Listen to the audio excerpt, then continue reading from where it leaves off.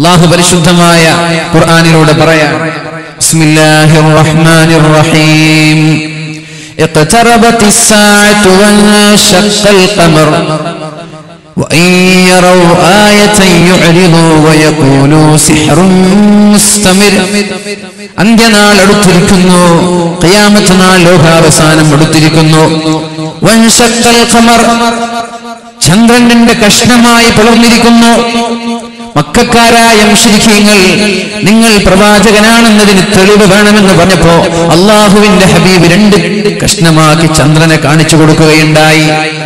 ആ സമയത്ത് അള്ളാഹുവിന്റെ ഹബീബിന്റെ കൂടെ അത് നേരിട്ട് കാണാൻ ഭാഗ്യം ലഭിച്ച സുഹാബിയാണ് മഹാനായ മാലിക് ദിനാർ അൻഹു. ഇവിടെ അന്ത്യവിശ്രമം കൊള്ളുന്നത് ഭാഗ്യവാന്മാരാണ് നമ്മൾ.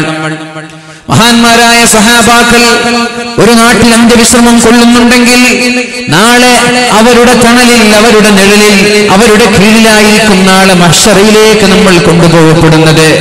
അവരായിരിക്കും നാളെ നമ്മെ മഷറയിലേക്ക് കൊണ്ടുപോകുന്നത്. അള്ളാഹു തൗഫീഖ് നൽകുമാറാവട്ടെ. എന്റെ പ്രിയപ്പെട്ട തളങ്കര സ്വദേശികളോട് എനിക്ക് പറയാനുള്ളത് കാസർഗോഡിന്റെ എന്നല്ല കേരളത്തിന്റെ മക്കയാണ് തളങ്കര. നമ്മുടെ തലസ്ഥാന നഗരി അല്ലെങ്കിൽ കേരളത്തിന്റെ ഹൃദയഭാഗമാണ് തളങ്കര. അത് ഞാനല്ല എല്ലാവരും സമ്മതിക്കുന്ന ഒരു വിഷയമാണ്. ഭാഗ്യവാനാണ് നമ്മൾ. നമ്മൾ ഭാഗ്യവാന്മാരാണ് നമ്മൾ. ഈ പരിശുദ്ധമായ ഉറൂസിനെ വളണ്ടിയറായി പ്രവർത്തിക്കുന്ന ചെറുപ്പക്കാർ നിങ്ങൾക്ക് അള്ളാഹു നൽകുന്ന പ്രതിഫലം കൂടി നിങ്ങൾ ശ്രദ്ധിക്കേണ്ടതുണ്ട്. ഭാഗ്യവാനാണ് നമ്മൾ ഭാഗ്യവാന്മാരാണ്. മഹാനായ മാലിക് ദിനാറിന്റെ സാന്നിധ്യമുള്ള മണ്ണിൽ തെറ്റ് ചെയ്യുമ്പോൾ അത് അപകടമാണ്. അവരുടെ കുരുത്തക്കേട് തട്ടാനും സാധ്യതയുണ്ട് സൂക്ഷിക്കേണ്ടതുണ്ട്. ഇവരുടെ മണ്ണ് വളരെ മഹത്വവും ഒരുപാട് പ്രധാനവുമുള്ള മണ്ണായതുപോലെ ഈ മണ്ണിൽ വെച്ച് തെറ്റ് ചെയ്യാൻ നമ്മൾ ധൈര്യം കാണിക്കരുത്. ഈ മണ്ണിൽ വെച്ച് തിന്മ ചെയ്യാൻ നമ്മൾ ധൈര്യം കാണിക്കരുത്. ومن يعظم شعائر الله فإنه من تقوى القلوب فإنها من تقوى القلوب. അള്ളാഹു ബഹുമാനിച്ചതിനെ ബഹുമാനിക്കുന്നത് അള്ളാഹു ആദരിച്ചവയെ ആദരിക്കുന്നത് അള്ളാഹു ആദരിച്ചവരെ ആദരിക്കുന്നത് അത് മുത്തക്കീങ്ങൾക്ക് സാധിക്കുള്ളൂ എന്ന് പരിശുദ്ധ ഖുർആൻ നമ്മോട് പഠിപ്പിക്കുന്നുണ്ട്. ഈ മണ്ണ് പവിത്രമാണ് ഈ മണ്ണ് ധന്യമാണ്. എന്തിനേറെ പറയണം? ഇതിന്റെ തുടക്കം മുതൽ ഇന്നേ വരെ ലക്ഷോപലക്ഷം ആളുകൾ ദൈനംദിനം ഇവിടെ വന്നിട്ട് നിരന്തരമായി പരിശുദ്ധമായ ഖുർആൻ ഓതിക്കൊണ്ടിരിക്കുകയാണ്. നിരന്തരമായി യാസീൻ സൂറത്ത് ഇവിടെ ഓതിക്കൊണ്ടിരിക്കുകയാണ്. ഒരു സെക്കൻഡ് പോലും വിടതടവില്ലാതെ ഒരു സെക്കൻഡ് പോലും വിശ്രമമില്ലാതെ ലക്ഷക്കണക്കിന് ആളുകൾ പതിനായിരക്കണക്കിന് ആളുകൾ ഈ രാത്രി മുതൽ രാവിലെ സുബഹി നിസ്കാരം മുതൽ രാത്രി ഒരു മണി വരെ രണ്ട് മണി വരെ മൂന്ന് മണി വരെ ഉറക്കില്ലാതെ ഊണില്ലാതെ വിശുദ്ധമായ ഖുർആൻ പാരായണം ചെയ്തുകൊണ്ടിരിക്കുകയാണ്. ഖുർആൻ ഓതിക്കൊണ്ടിരിക്കുന്ന ഈ മണ്ണിൽ മലായിക്കീയങ്ങളുടെ സാന്നിധ്യമുള്ള മണ്ണിൽ അള്ളാഹു സ്വർഗത്തിന്റെ സദസ്സെന്ന് വിശേഷിപ്പിച്ച മണ്ണിൽ അള്ളാഹു നമ്മുടെ ദുആഇനെ തട്ടിക്കളയുമെന്ന് നിങ്ങൾക്ക് തോന്നുന്നുണ്ടോ? അള്ളാഹു നമ്മുടെ ദ്വായിനെ സ്വീകരിക്കട്ടെ. ഹലാലായ ഉദ്ദേശങ്ങൾ അള്ളാഹു നിറവേറ്റി തരട്ടെ. വിഷയത്തിലേക്ക് കടക്കുകയാണ്. പൊതുപ്രവർത്തനം ഇസ്ലാം ഒരുപാട് പ്രോത്സാഹിപ്പിച്ച മേഖലയാണത്. സ്വന്തത്തെക്കാളും മറ്റൊരാൾക്ക് പ്രാധാന്യം നൽകണമെന്ന് പഠിപ്പിച്ച വഴിയാണ്. അതാണ് പരിശുദ്ധമായ ദീനിന്റെ രീതി എങ്ങനെയായിരുന്നു? റസൂലുള്ളാഹി അലൈഹി വസല്ലം നമ്മെ പഠിപ്പിക്കുന്നുണ്ട്. ലാ ഹത്താ യുഹിബ്ബ മാ യുഹിബ്ബു ഞാൻ എന്തൊക്കെയാണോ ആഗ്രഹിക്കുന്നത് അത് എന്റെ സഹോദരനും വേണമെന്ന് ഞാൻ ഇഷ്ടപ്പെടുന്നത് വരെ ഞാൻ മുഅ്മിനല്ല എന്ന് പരിശുദ്ധ റസൂലുള്ളാഹി സല്ലല്ലാഹു അലൈഹി വസല്ലം ഞാൻ ആഗ്രഹിക്കുന്നത് എന്റെ സുഹൃത്തിനും വേണം. ഞാൻ ആഗ്രഹിക്കുന്നത് എന്റെ ചങ്ങാതിക്ക് വേണം. ഞാൻ ആഗ്രഹിക്കുന്നത് എന്റെ അയൽവാസിക്ക് വേണം. ഞാൻ ആഗ്രഹിക്കുന്നത് എന്റെ നാട്ടുകാരന് വേണം. എന്തൊക്കെയാണോ ഞാൻ ആഗ്രഹിക്കുന്നത്? എന്തൊക്കെയാണോ ഞാൻ ഇഷ്ടപ്പെടുന്നത്? അത് എന്റെ അയൽവാസിക്കും എന്റെ ചങ്ങാതിമാർക്കും എന്റെ സഹോദരങ്ങൾക്കും വേണമെന്ന് ഇഷ്ടപ്പെടുന്നത് വരെ ഒരാളും പരിപൂർണനായ മുഗ്നാവൂല എന്ന് മുഹമ്മദ് എനിക്കൊരു ബി എം ഡബ്ല്യു വാങ്ങണം എന്ന പൂതിയുണ്ടെങ്കിൽ അതെന്റെ സുഹൃത്തിന് കിട്ടുമ്പോൾ അതിൽ ഞാൻ സന്തോഷിക്കണം. അപ്പൊ അസൂയ ഉണ്ടാവാൻ പാടില്ല. അവന്റെ വീട്ടിൽ ബെൻസ് ഉണ്ടല്ലോ അവന്റെ വീട്ടിൽ വലിയ വണ്ടികളൊക്കെ ഉണ്ടല്ലോ. അത് ആ ഒരു അസൂയ ഉണ്ടാകുന്നതിന് പകരം അവൻ അള്ളാഹു ഞാമത്ത് നൽകുമ്പോ അതിൽ സംതൃപ്തരാവാനും അതിൽ സന്തോഷിക്കാനും നമ്മൾക്ക് കഴിയണം. അപ്പോഴാണ് പരിപൂർണനായ ഒരു മുഗ്മിനായി നമ്മൾ മാറുന്നത്. അള്ളാഹു തോഫിക്ക് ചെയ്യട്ടെ. മറ്റുള്ളവന്റെ സുഖങ്ങളിൽ അസൂയ തോന്നാൻ പാടില്ല. അതൊരു മുഗ്മിനിന്റെ ലക്ഷണമല്ല. മുഅ്മിനായി മാറാൻ യഥാർത്ഥ മുഅ്മിനായി സത്യവിശ്വാസിയായി മാറാൻ സ്വന്തത്തെക്കാളും പ്രാധാന്യം നമ്മുടെ മറ്റുള്ള സഹോദരങ്ങൾക്കാണ് നമ്മൾ നൽകേണ്ടത്. അള്ളാഹു നമ്മൾക്ക് എല്ലാവർക്കും ഉത്തരവാദിത്തം നൽകി. പരിശുദ്ധ റസൂലുള്ളാഹി സ്വല്ലല്ലാഹു അലൈഹി വസല്ലം പരിശുദ്ധ ഖുർആനിലൂടെ പഠിപ്പിക്കുകയാണ് ഇന്നി ജാഇലു ഫിൽ ഖലീഫ. അള്ളാഹു നമ്മളെ എല്ലാ ആളുകളെയും ഭൂമിയിലേക്ക് പറഞ്ഞയച്ചത് പ്രതിനിധികളായിട്ടാണ്. ഓരോ ആളുകൾക്ക് ഓരോ ഉത്തരവാദിത്തങ്ങൾ അള്ളാഹു നൽകുന്നുണ്ട്. അള്ളാഹു ഒരാൾക്കൊരു ഉത്തരവാദിത്തം നൽകിയാൽ ഇവിടെ ഇരിക്കുന്ന ഓരോ ആളുകൾക്കും ഓരോ ദൗത്യമുണ്ട്. ആരും അതിൽ നിന്ന് വിമുക്തരല്ല. ആരും അതിൽ നിന്ന് മുക്തരല്ല. എല്ലാവർക്കും ഉത്തരവാദിത്തങ്ങളുണ്ട് റസൂലുള്ളാഹി സ്വല്ലല്ലാഹു അലൈഹി വസല്ലം പറയുന്നുണ്ട് ഒരു വീടിന്റെ ഭരണാധികാരിയാണ് ആ വീട്ടിലെ പിതാവ്. ഉപ്പയില്ലെങ്കിലോ ആ വീടിന്റെ ഭരണാധികാരി ആ വീടിന്റെ റാണി ആ വീടിന്റെ രാജ്ഞി ഉമ്മയാണ്. ഉമ്മയും ഉപ്പയും ഇല്ലെങ്കിൽ ആരാണോ ആ വീടിന്റെ മുതിർന്ന ആളുകൾ അവരാണ് വീട് ഭരിക്കേണ്ടത്? ഓരോ ആളുകൾക്കും അള്ളാഹു താല ഓരോ ഉത്തരവാദിത്തങ്ങൾ നൽകിയിട്ടുണ്ട് അത് നിർവഹിക്കാതെ മരിച്ചു പോയാൽ യമോ യൗമ യമൂത്ത്.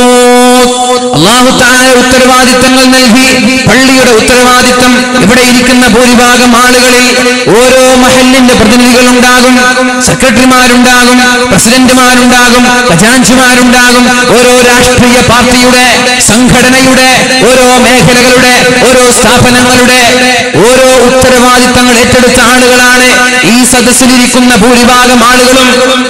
ആ ഉത്തരവാദിത്തം ഏറ്റെടുത്തു. യമോ യൗമ യമൂത്ത് അങ്ങനെ മരിക്കുന്ന സമയത്ത് നമ്മൾ മരിച്ചു പോകുമ്പോൾ.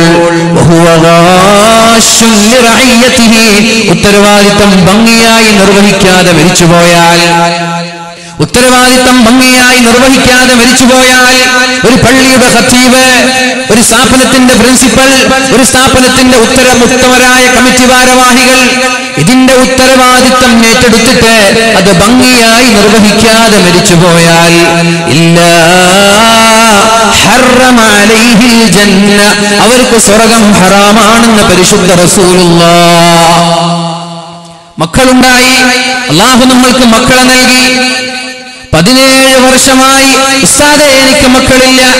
എവിടെ പോയാലും ദുആ ചെയ്യണമെന്ന് ഈ പരിശുദ്ധമായ മണ്ണിൽ എന്റെ മാറോട് ചേർത്ത് പിടിച്ചിട്ടൊരു ചെറുപ്പക്കാരൻ പറഞ്ഞു ലാഹുവേ മക്കളെ നൽകണേ അല്ലാ മക്കളെ നൽകണേ അല്ലാ മക്കളില്ലാതെ നീ ഒരാളെയും പരീക്ഷിക്കല്ല റബ്ബേ. മുപ്പത്തഞ്ചുകാരൻ മുപ്പത്തഞ്ച് വർഷമായി നാൽപ്പത് വർഷമായി മക്കളില്ലാതെ പ്രയാസപ്പെടുന്ന ഒരുപാട് ആളുകളുണ്ട്. ലാഹുവേ ഈ മഹാനുഭാവന്റെ മഹാനായ മാലിക് അലിയല്ലാഹുവിന്റെ ഹലറത്തിൽ വെച്ച് ഞങ്ങൾ ചോദിക്കുകയാണ് ഞങ്ങളുടെ ദുആയിനെ തട്ടിക്കളയല്ല റബ്ബേ മക്കളില്ലാതെ ഒരാളെയും നീ പരീക്ഷിക്കല്ല റബ്ബേ സാലിഹീങ്ങളായ ഒരുപാട് മക്കളെ നൽകണേ അല്ലാ ഇബ്രാഹിം നബി അലൈഹിസ്സലാമിനെ നൂറാമത്തെ വയസ്സിൽ മക്കളെ നൽകിയവനാണ് അള്ളാഹു നൂറാമത്തെ വയസ്സിലാണ് ഇബ്രാഹിം നബി അലൈഹിസ്സലാമിന് മക്കളെ ലഭിച്ചത്. മറിയം ബീവിക്ക് മക്കളെ നൽകി ഉപ്പയില്ലാതെ ഭർത്താവില്ലാതെ ഒരു ഭർത്താവില്ലാതെ മക്കളെ നൽകാന്ന് പറഞ്ഞാൽ ഇമ്പോസിബിൾ ആണ് അസാധ്യമാണ്. എന്നിട്ട് മഹതിയായ മറിയം ബീവിക്ക് മക്കളുണ്ടായി. ഉപ്പയും ഉമ്മയും ഇല്ലാതെ ഒരാളുണ്ടായി. അതാണ് മഹാനായ ആദി നബി അലൈഹിസലാം ഉപ്പയില്ല ഉമ്മയില്ല മനുഷ്യനുണ്ടായി. ഇനി ഉപ്പയുണ്ട് ഉമ്മയില്ല. ഉപ്പയുണ്ട് ഉമ്മയില്ല. അതാണ് മഹതിയായ ഉമ്മയുണ്ട് ഉപ്പയില്ല. അതാണ് ഐസാ നബി അലൈഹിസലാം ഉപ്പയുമുണ്ട് ഉമ്മയുമുണ്ട്. നൂറാമത്തെ വയസ്സിലാണ് മകൾ ലഭിക്കുന്നത്. മഹാനായ ഇബ്രാഹിം നബി അലഹിസ്സലാമിനെ മഹാനായ സക്കരിയ നബി അലഹിസ്സലാമിനെ ലാഹുവേ ആ മഹാന്മാരുടെ ഹക്കുജാഹ് പറക്കത്തുകൊണ്ട് മക്കളില്ലാതെ പ്രയാസപ്പെടുന്ന എല്ലാ ആളുകൾക്കും സാലിഹീങ്ങളായ മക്കളെ നീ നൽകണയല്ല. ഞങ്ങളുടെ ദ്വായന നീ തള്ളിക്കളയില്ല റബ്ബേ. എത്രയോ മോഹിനിയങ്ങൾ ഇരിക്കുന്ന സദസ്സാണിത്. എത്രയോ ഔലിയാക്കളന്റെ വിഷമം കൊള്ളുന്ന സദസ്സാണിത്. ലാഹുവേ തള്ളിക്കളയല്ല റബ്ബേ. നിരാശരാശല്ല റബ്ബേ. അവരുടെ കരയുന്ന കണ്ണുനീർ തുള്ളികൾ കാണുന്നുണ്ട് റബ്ബേ. മക്കളെ നൽകണേ അല്ല. മക്കളില്ലാതെ നീ ഒരാളെയും നിരാശരാക്കല്ല റബ്ബേ. പറഞ്ഞു വന്നത് അള്ളാഹു നമ്മൾക്ക് മക്കളെ നൽകിയാൽ ആ മക്കളെ സ്വാലിഹാക്കുക എന്നത് ഉപ്പയുടെയും ഉമ്മയുടെയും ദൗത്യമാണ്. മക്കളെ സ്വാലിഹീങ്ങളാക്കാതെ മക്കൾക്ക് അതവ് പഠിപ്പിക്കാതെ മക്കൾക്ക് സംസ്കാരം പഠിപ്പിക്കാതെ ഉപ്പയോ ഉമ്മയോ മരിച്ചു പോയാൽ ഇല്ല. അവർക്ക് സ്വർഗം ഹറാമാണെന്ന് പരിശുദ്ധ റസൂലുള്ള. മഹാനായ ഉമർ അബ്ദുൽ അസീസ് റളിയല്ലാഹു അൻഹു. ലോകം കണ്ട പ്രഗത്ഭനാണ്. ലോകം കണ്ട പ്രഗത്ഭനായ കരയുന്ന കരയുന്ന രാജാവ് കരയുന്ന ഭരണാധികാരി ഭരണമേറ്റെടുത്തത് മുതൽ ഉത്തരവാദിത്തം ഏറ്റെടുത്തത് മുതൽ കരയാൻ തുടങ്ങി രണ്ടര വർഷം കൊണ്ട് ലോകത്തോട് വിട പറഞ്ഞു പോയി. കരഞ്ഞ് കരഞ്ഞ് കരഞ്ഞ് ശരീരമാകെ സൃഷ്ടിച്ച് രണ്ടര വർഷം കൊണ്ട് ലോകത്തോട് വിട പറഞ്ഞു പോയ മഹാനായ ഉമർ ബിൻ അബ്ദുൽ അസീസ് റളിയല്ലാഹു അൻഹു. അദ്ദേഹത്തിന്റെ ചെറുപ്പകാലത്തെ അദ്ദേഹത്തിന് അദ്ദേഹത്തിന് ശിഷ്യത്വം നൽകാൻ അദ്ദേഹത്തിന് പഠിപ്പിക്കാൻ വേണ്ടി ശിക്ഷണം നൽകാൻ വേണ്ടി ഒരു ഉസ്താദിനെ അദ്ദേഹത്തിന്റെ പിതാവ് അബ്ദുൽ അസീസ് ഏൽപ്പിക്കുകയും ഉസ്താദ് ചിട്ടയോടെ വളർത്തുമ്പോഴാണ് ഒരു ദിവസം നിസ്കരിക്കാൻ പള്ളിയിലേക്ക് ജമാഅത്തിനെത്താതെ അല്പം വൈകിപ്പോയത്. മസ്ബൂക്കായി പോയി. മസ്ബൂക്ക് എന്ന് പറഞ്ഞാൽ ഇമാമിന്റെ കൂടെ ആദ്യ തറക്കത്തിൽ ഫാത്തിഹ ഓതാൻ സമയം കിട്ടാത്തവൻ. ഒരുപക്ഷെ ഇമാം ഒന്നാമത്തെ റുക്കോയിൽ പോയി ഒന്നാമത്തെ റക്കായത്തിലെ റുക്കോത്തിൽ റുക്കോയിൽ പോയി എത്തിദാലിൽ ഉള്ള സമയം അല്ലെങ്കിൽ രണ്ടാമത്തെ റക്കായത്തിലെത്തി മസ്ബൂക്കായി ഉസ്താദ് ചോദിച്ചു എന്തേ ഇന്ന് മസ്ബൂക്കാവാനുള്ള കാരണം? ജമാഅത്തിന് തക്ബീറത്തുൽ ഇഹ്റാമിലേക്ക് എത്താതിരിക്കാനുള്ള കാരണം എന്ത് എന്ന്? ഉമർ ബിൻ അബ്ദുൽ അസീസ് റളിയല്ലാഹു അൻഹു ചെറിയ കുട്ടിയാണ് ആ സമയത്ത്. അദ്ദേഹം ഉസ്താദിനോട് മറുപടി പറഞ്ഞു ഉസ്താദേ എന്റെ തലവാരുകയായിരുന്നു ഞാൻ. തല ചീകുകയായിരുന്നു ഞാൻ. തല ചീകി അതൊന്ന് സെറ്റ് ചെയ്യുമ്പോ വലിയ രാജകുടുംബത്തിൽ പിറന്ന മഹാനാണ് അദ്ദേഹം. വലിയ രാജകീയമായ പ്രൗഢിയോടെ വളർന്ന മഹാനാണ് അദ്ദേഹം. എന്റെ തല ഒന്ന് ചേകി തലമുടി വൃത്തിയാക്കിയത് കാരണത്താലാണ് എനിക്ക് ജമാഅത്ത് മസ്ബൂഖായി പോയത് എന്ന് പറഞ്ഞപ്പോഴാണ് അദ്ദേഹത്തിന്റെ ഉസ്താദ് ഉപ്പയ്ക്ക് കത്തെഴുതുന്നത്. ഉപ്പ ഈജിപ്തിലെ ഗവർണറാണ്. ഉപ്പ ഈജിപ്തിലെ ഗവർണറാണ് ഉപ്പയ്ക്ക് കത്തെഴുതി.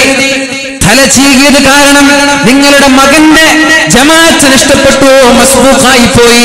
ഇത് കേൾക്കേണ്ട താമസം മുപ്പത്തിച്ചൊരു കത്ത് എഴുതുകയാണ്. തല വാർന്നത് കാരണം തല ചീകിയത് കാരണം എന്റെ മകന്റെ ജമാഅത്ത് നഷ്ടപ്പെട്ട് മസ്ബൂഖായാൽ എന്റെ മകന് ആ ഒരു മുടി ആവശ്യമില്ല. മുടി മുണ്ടനം ചെയ്തേക്ക് മുട്ടയടിച്ചേക്ക് മുടി പഠിച്ചു കളഞ്ഞേക്ക് ഇതാണ് ശിക്ഷണം എന്ന് പറയുന്നത്. ഇതാണ് മക്കളെ ദീനിയായ ചിട്ടയോടെ വളർത്തുന്നത്. ഇങ്ങനെയാണ് വളർത്തൽ. മസ്ബൂക്കായതിന്റെ പേരിൽ ഇനി തല വാരരുത് തലമുടി മുഴുവനും മുണ്ടനം ചെയ്യണം. മൊട്ടയടിക്കണമെന്ന് പറഞ്ഞു മഹാനായ ഉമർ ബിൻ അബ്ദുൽ നസീസ് അൻഹുവിന്റെ പിതാവ്. ഈ ഒരു ഉത്തരവാദിത്വം ഓരോ ഉപ്പമാർക്കും ഓരോ ഉമ്മമാർക്കും ഉണ്ട് മക്കൾ സാലിഹാക്കൽ നമ്മുടെ ബാധ്യതയാണ്. മക്കളെ സാലിഹീങ്ങളാവാതെ മരിച്ചുപോയാൽ അള്ളാഹുവിന്റെ ഹബീബ് സല്ലല്ലാഹു അലൈഹി വസല്ലമ തങ്ങൾ പറയാണ് ഇല്ല ഹറമ അലൈഹി ജന്ന അവർക്ക് സ്വർഗം ഹറാമാണെന്ന് പരിശുദ്ധ റസൂലുള്ളാഹ് മഹാനായ ഉമർ ഇബ്നുൽ ഖത്താബ് റളിയല്ലാഹു അൻഹുവിന്റെ ചരിത്രം പറഞ്ഞുകൊണ്ട് ഞാൻ എന്റെ വിഷയത്തിലേക്ക് കടക്കുകയാണ്. മഹാനായ ഉമർ ഇബ്നുൽ ഖത്താബ് പരിശുദ്ധമായ ദീനിന് ഒരുപാട് കാലം സേവനമനുഷ്ഠിച്ച മഹാനാണ്. ഉമർ അൻഹു നീതിക്ക് വേണ്ടി പോരാടിയ ജീവിക്കാൻ വേണ്ടി മറന്നുപോയ അദ്ദേഹത്തിന്റെ ഭരണസമയത്ത് അവസാന രണ്ടു വർഷം കിടന്നുറങ്ങിയിട്ടേയില്ല. ചില ഗവൺമെന്റ് ഉദ്യോഗസ്ഥരെ കുറിച്ചിട്ട് കേൾക്കാം. ജോലി കിട്ടിയിട്ട് വേണം ഒന്ന് ലീവ് എടുക്കാൻ. കേട്ടിട്ടില്ല നിങ്ങൾ ജോലി കിട്ടിയിട്ട് വേണം ലീവ് എടുക്കാൻ. അതല്ല. ജോലി കിട്ടിയാ പിന്നെ ഉറക്കില്ല. അവസാനത്തെ രണ്ട് വർഷം മഹാനായ കിടന്നുറങ്ങിയിട്ടേയില്ല രാത്രി ഉറങ്ങിയിട്ടേയില്ല ആളുകൾ ചോദിച്ചു അമീറുൽ മുഅ്മിനീൻ എന്തേ നിങ്ങൾ രാത്രി ഉറങ്ങാത്തത്? നിങ്ങൾക്കൊന്ന് രാത്രി ഉറങ്ങിക്കൂടെ? അപ്പോഴാണ് മഹാനായ ഉമൃത്തങ്ങൾ തങ്ങൾ പറഞ്ഞത് എന്നെ തേടി ഈ നാട്ടിലെ ആളുകളെല്ലാം ഉറങ്ങിക്കിടക്കുമ്പോ അവർക്ക് ആർക്കെങ്കിലും വല്ല ആവശ്യമുണ്ടെങ്കിൽ ഞാനും ഉറങ്ങിയാൽ അത് ആരാണ് ചെയ്തു കൊടുക്കുക? ഉത്തരവാദപ്പെട്ട പൊതുപ്രവർത്തകർ സാമൂഹിക സാംസ്കാരിക നഭോമണ്ഡലങ്ങളിൽ പ്രോജ്വലിച്ചു നിൽക്കുന്ന നേതാക്കൾ പഠിക്കണം മഹാനായ ഉമർ ഇബ്നുൽ ഖത്താബ് റളിയല്ലാഹു അൻഹുവിന്റെ ജീവിതം.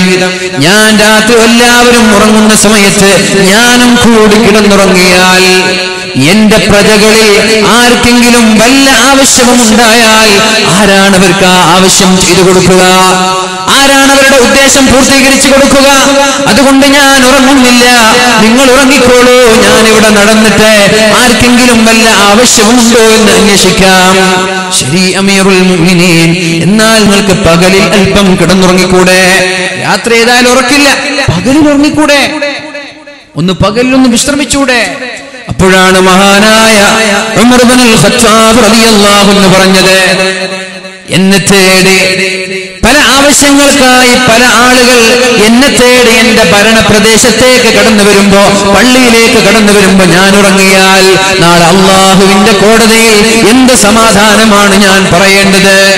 നമ്മുടെ നാട്ടിലൊരു പഞ്ചായത്ത് പ്രസിഡന്റ് ആയാൽ മതി അല്ലെങ്കിൽ ഒരു വില്ലേജ് ഓഫീസർ ആയാൽ മതി എന്തെങ്കിലും ഒരു പേപ്പർ ശരിയാക്കാൻ പോയാൽ നാളെ വാ. നോക്കിയിട്ട് വരില്ല. നാളെ വാ. എനിക്ക് അനുഭവമുണ്ട് എന്റെ നാട്ടിലെ. ഒരു പള്ളിയുടെ ഒരു കോട്ടേഴ്സ് നിർമ്മാണവുമായി ബന്ധപ്പെട്ട് ഒരാളെ ഉത്തരവാദം ഏൽപ്പിച്ചു അടുത്ത ഹജ്ജ് പെരുന്നാളിന് പണി പൂർത്തിയാക്കണമെന്ന രീതിയിലാണ് ഏൽപ്പിച്ചത്. അഞ്ചു മാസമായി പെർമിഷൻ കിട്ടിയത് ഇന്നലെ. അഞ്ചു മാസമായി ഒരു ബിൽഡിങ്ങിന്റെ പെർമിഷന് വേണ്ടിയിട്ട് പിന്നാലെ ഓടാണ് പെർമിഷൻ കിട്ടിയത് ഇന്നലെ. രണ്ട് ദിവസം മുമ്പ് പെർമിഷൻ കിട്ടിയത്. ഉത്തരവാദിത്വമില്ലാത്ത പ്രവർത്തകർ. ഒരു ജോലി ഏറ്റെടുത്താൽ ഒരു ഉത്തരവാദിത്വം ഏറ്റെടുത്താൽ അത് ഭംഗിയായി നിർവഹിക്കാതെ മരിക്കേണ്ട ഒരവസ്ഥ നിങ്ങൾക്ക് വന്നാൽ നരകം ഉറപ്പു തന്നെയാണ്.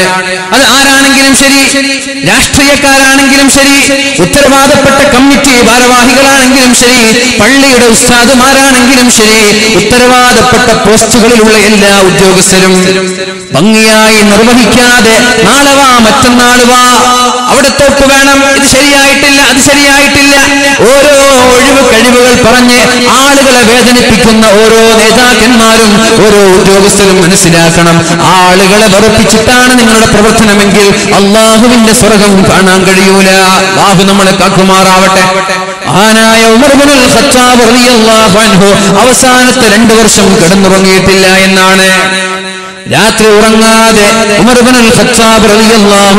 ചുറ്റുകയാണ്. മദീനയുടെ മണലാരുണ്യങ്ങളിലൂടെ മദീനയുടെ മണലാരുണ്യങ്ങളിലൂടെ മഹാനായ ഉമർ ഇബ്നുൽ ഖത്താബ് റളിയല്ലാഹു അൻഹു റോന്തു ചുറ്റുമ്പോഴാണ് ഒരു വൃദ്ധയായ ഒരു ഉമ്മയെ കാണാനിടയായത്.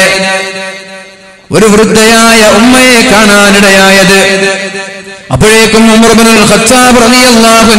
ആ പെണ്ണിനോട് കാര്യങ്ങൾ അന്വേഷിക്കാൻ വേണ്ടി പെണ്ണിനോട് ചോദിച്ചു എന്താണ് നിങ്ങളുടെ അവസ്ഥ? എന്താണ് നിങ്ങളുടെ അവസ്ഥ? എന്താ? പെണ്ണിനോട് ചോദിച്ചു ഉമറിനെ കുറിച്ച് നിങ്ങളുടെ അഭിപ്രായം എന്താണ്? ഉമറിനെ കുറിച്ച് നിങ്ങളുടെ അഭിപ്രായം എന്താണ്? ഒരു രാജാവ് ഒരു അമീറ് എന്റെ ദൗത്യം ഞാൻ ഭംഗിയായി നിർവഹിക്കുന്നുണ്ടോ എന്നറിയാൻ വേണ്ടി വളരെ രഹസ്യമായി രാത്രിയിൽ ഇങ്ങനെ സഞ്ചരിക്കുകയാണ്. ഈ വൃദ്ധയായ മാതാവിനറിയില്ല ഇത് അമീറുൽ ഇത് ഉമർ ഇബ്നുൽ ഖത്താബ് റളിയല്ലാഹു അൻഹു ഈ വൃദ്ധയായ മാതാവിനറിയില്ല ആ ഉമ്മയോട് ഉമർ തങ്ങൾ ചോദിച്ചോ ഉമറിനെ കുറിച്ച് നിങ്ങളുടെ അഭിപ്രായം എന്താ? അവണ് പറഞ്ഞു ഉമറോ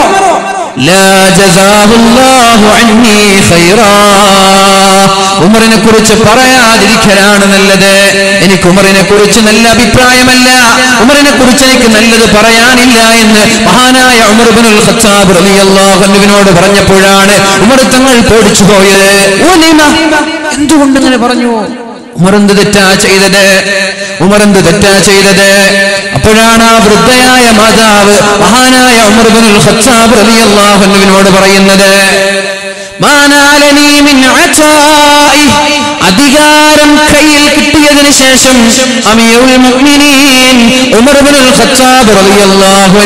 എനിക്ക് ഇന്നേ ഒരു ദീനാറോ ഒരു ദർഹമോ നൽകിയിട്ടേ ഇല്ല. ഞാൻ പാവപ്പെട്ട ഒരു വൃദ്ധയായ മാതാവാണ്. എന്റെ ചെലവിന് ആവശ്യമായ ദീനാറോ ദർഹമോ ഉമർ ഇബ്നുൽ ഖത്താബ് എനിക്ക് നൽകിയിട്ടേ ഇല്ല. അപ്പോഴാണ് മഹാനായ ഉമർ ഇബ്നുൽ ഖത്താബ് റളിയല്ലാഹു ചോദിക്കുന്നത് അല്ല ഉമ്മ അല്ല ഉമ്മ മദീനയുടെ ഏതോ ഒരു മൂലയിൽ താമസിക്കുന്ന നിങ്ങളുടെ പ്രയാസം എങ്ങനെയാണ്? മദീനയുടെ പള്ളിയിൽ മദീനയുടെ അടുത്ത് ഭരണപ്രദേശത്ത് താമസിക്കുന്ന ഉമറിനറിയുന്നത്? തളങ്കരയിൽ ഏതോ ഒരു മൂലയിൽ താമസിക്കുന്ന ഒരു പാവപ്പെട്ട പെണ്ണിനെ കുറിച്ചിട്ട് ഇവിടെ ജീവിക്കുന്ന ആളുകൾക്ക് അറിയാന്ന് പറഞ്ഞാൽ അത് ഒരു സാധ്യമായൊരു വിഷയമല്ലല്ലോ. അല്ലെങ്കിൽ ഉപ്പമായൊരു വിഷയമല്ലല്ലോ. മദീനയുടെ ഏതോ ഒരു മുക്കുമൂലയിൽ ജീവിക്കുന്ന നിങ്ങൾക്ക് സാമ്പത്തികമായി ആവശ്യമുണ്ട് എന്ന് ഉമറിനെങ്ങനെ അറിയാം? അപ്പോഴാണ് ആ മഹദി ആ വൃദ്ധയായ പെണ്ണെ മഹാനായ ഉമർബിനോട് ചോദിക്കുന്നത് ഉമറാണ് നീ വൃദ്ധയായ മാതാവിനറിയില്ല? വല്ലാഹി മാ അഹദൻ. ഏതെങ്കിലും ഒരാൾ ജനങ്ങളുടെ ഉത്തരവാദിത്വം ഏറ്റെടുക്കുന്ന ആളുകൾ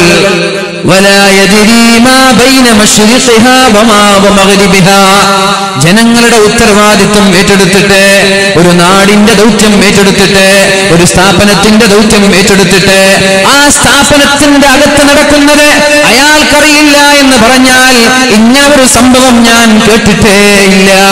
ഒരു പള്ളിയുടെ ഉത്തരവാദിത്വം ഏറ്റെടുത്താൽ ജമാഅത്തിന്റെ ഉത്തരവാദിത്വം ഏറ്റെടുത്താൽ ആ ജമാഅത്തിന്റെ മുഴുവൻ നീക്കുപോക്കുകളും അറിയൽ നിർബന്ധമാണ്.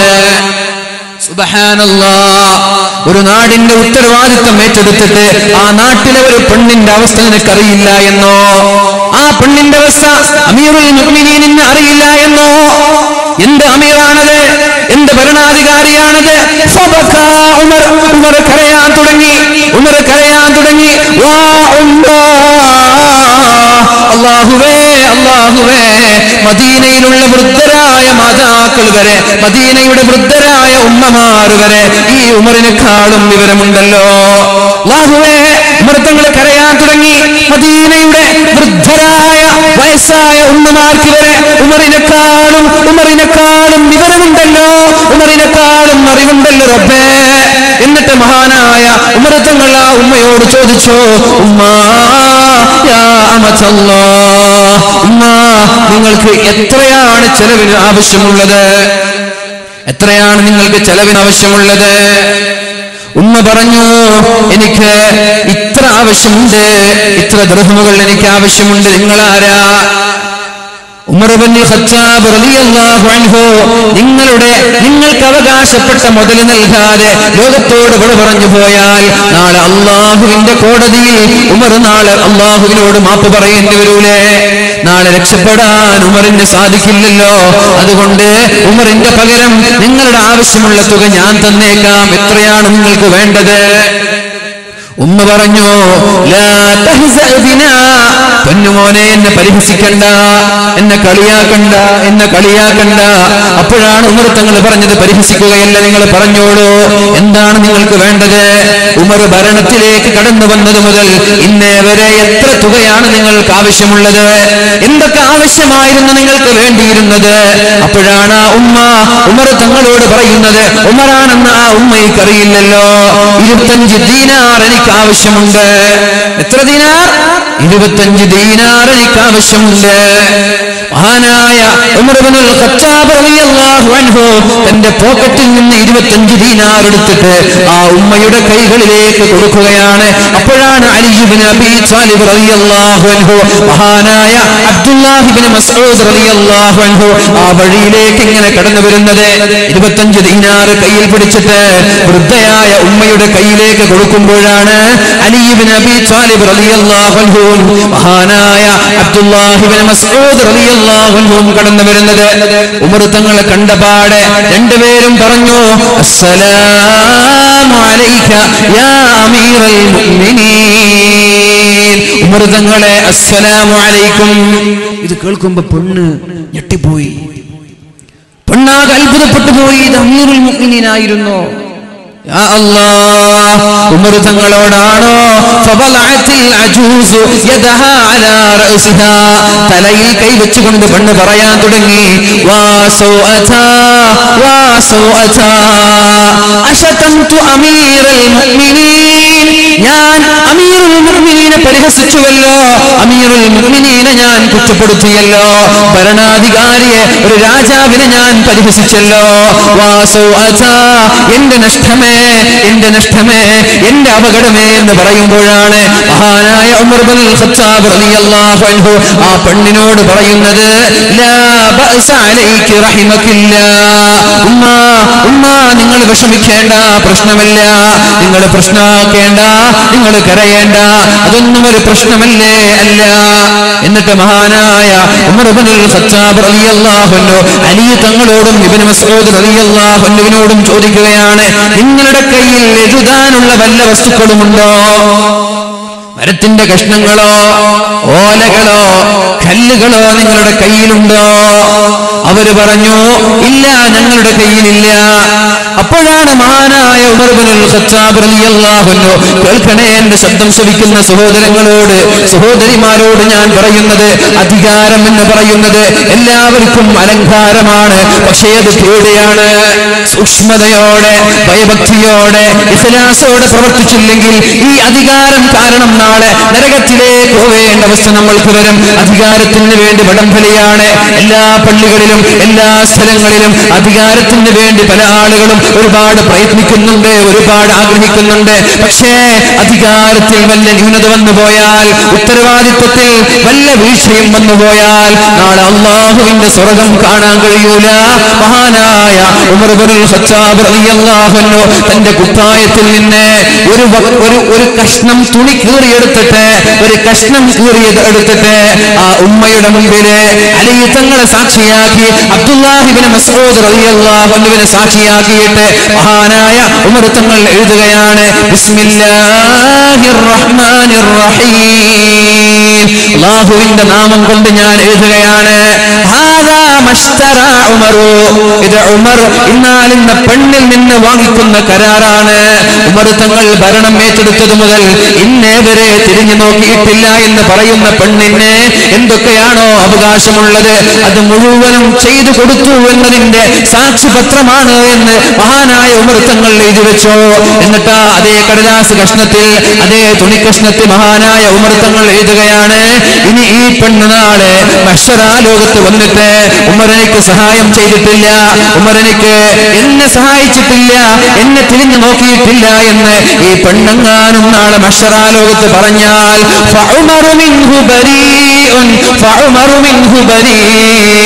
ഉമർ നാളെ രക്ഷപ്പെടാൻ വേണ്ടിയിട്ടാണ് ഈ ഒരു സാക്ഷിപത്രം ഞാൻ എഴുതുന്നത് എന്ന് മഹാനായ ഉമർ ഇബ്നുൽ ഖത്താബ് റളിയല്ലാഹു അൻഹു എന്നിട്ട് മഹാനായ അലി തങ്ങളുടെ മുമ്പിൽ വെച്ചിട്ട്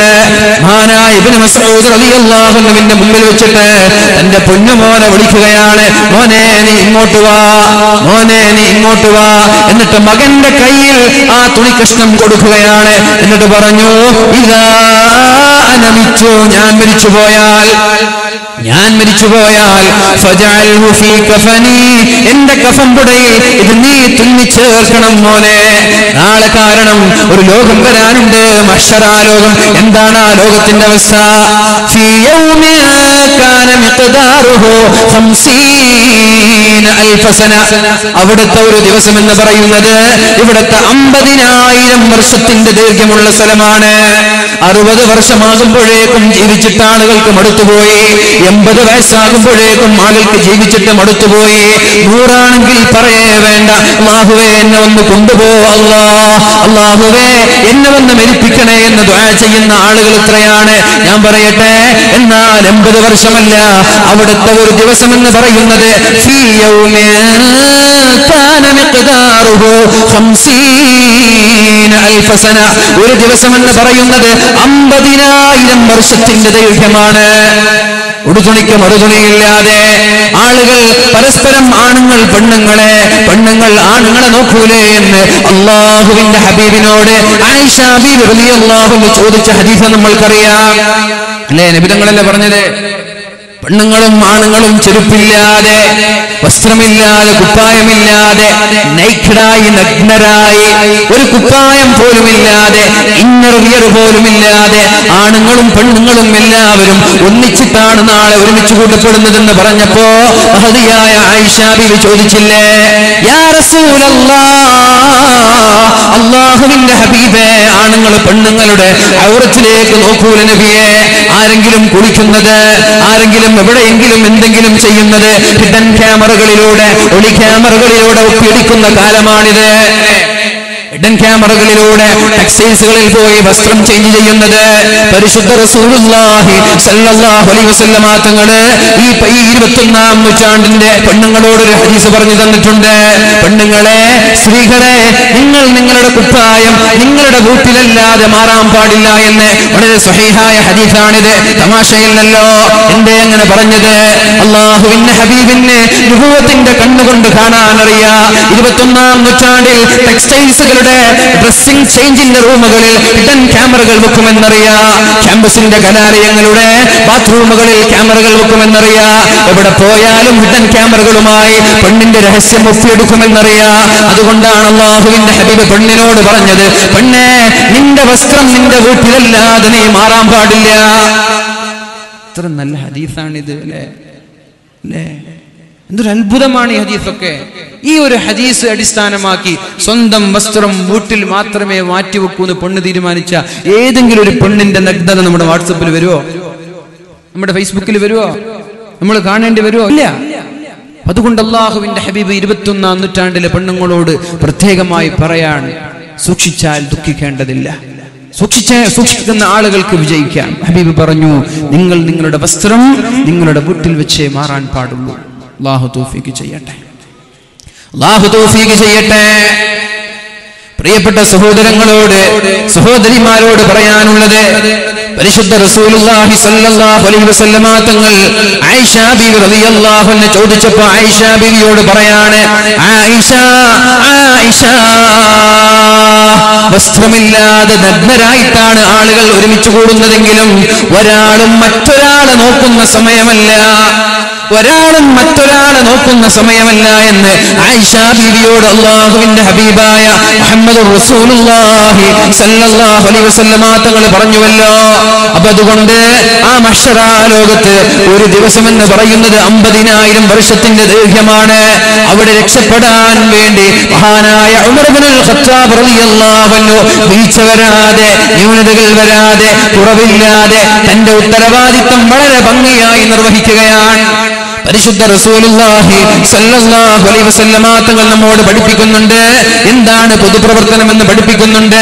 പൊതുപ്രവർത്തകരെ രാഷ്ട്രീയക്കാരെ സംഘടനാ പ്രവർത്തകരെ പ്രത്യേകിച്ചിട്ട് നമ്മുടെ ഈ ഉറൂസിന് വേണ്ടി ആത്മാർത്ഥമായി ഇസലാസോടുകൂടി വളണ്ടിയർ പ്രവർത്തനം നടത്തുന്ന ചെറുപ്പക്കാരെ അള്ളാഹുവിന്റെ ഹബീബിനോട് ഒരാൾ കടന്നു വന്നിട്ട് ചോദിക്കുകയാണ് യാ റസൂലല്ലാഹ് അള്ളാഹുവിന്റെ ഹബീബേ മുത്ത് നബിയെ ഇലല്ലാഹ് ഏറ്റവും സ്നേഹിക്കുന്നത് ആരെയാണ് നബിയെ? അള്ളാഹുവിന് ഏറ്റവും ഇഷ്ടം ആരോടാണ് നബിയെ? നബി തങ്ങൾ പറഞ്ഞു സുഹാബിയുടെ ചോദ്യത്തിന് അള്ളാഹുവിന്റെ ഹബീബ് മറുപടി പറയുകയാണ്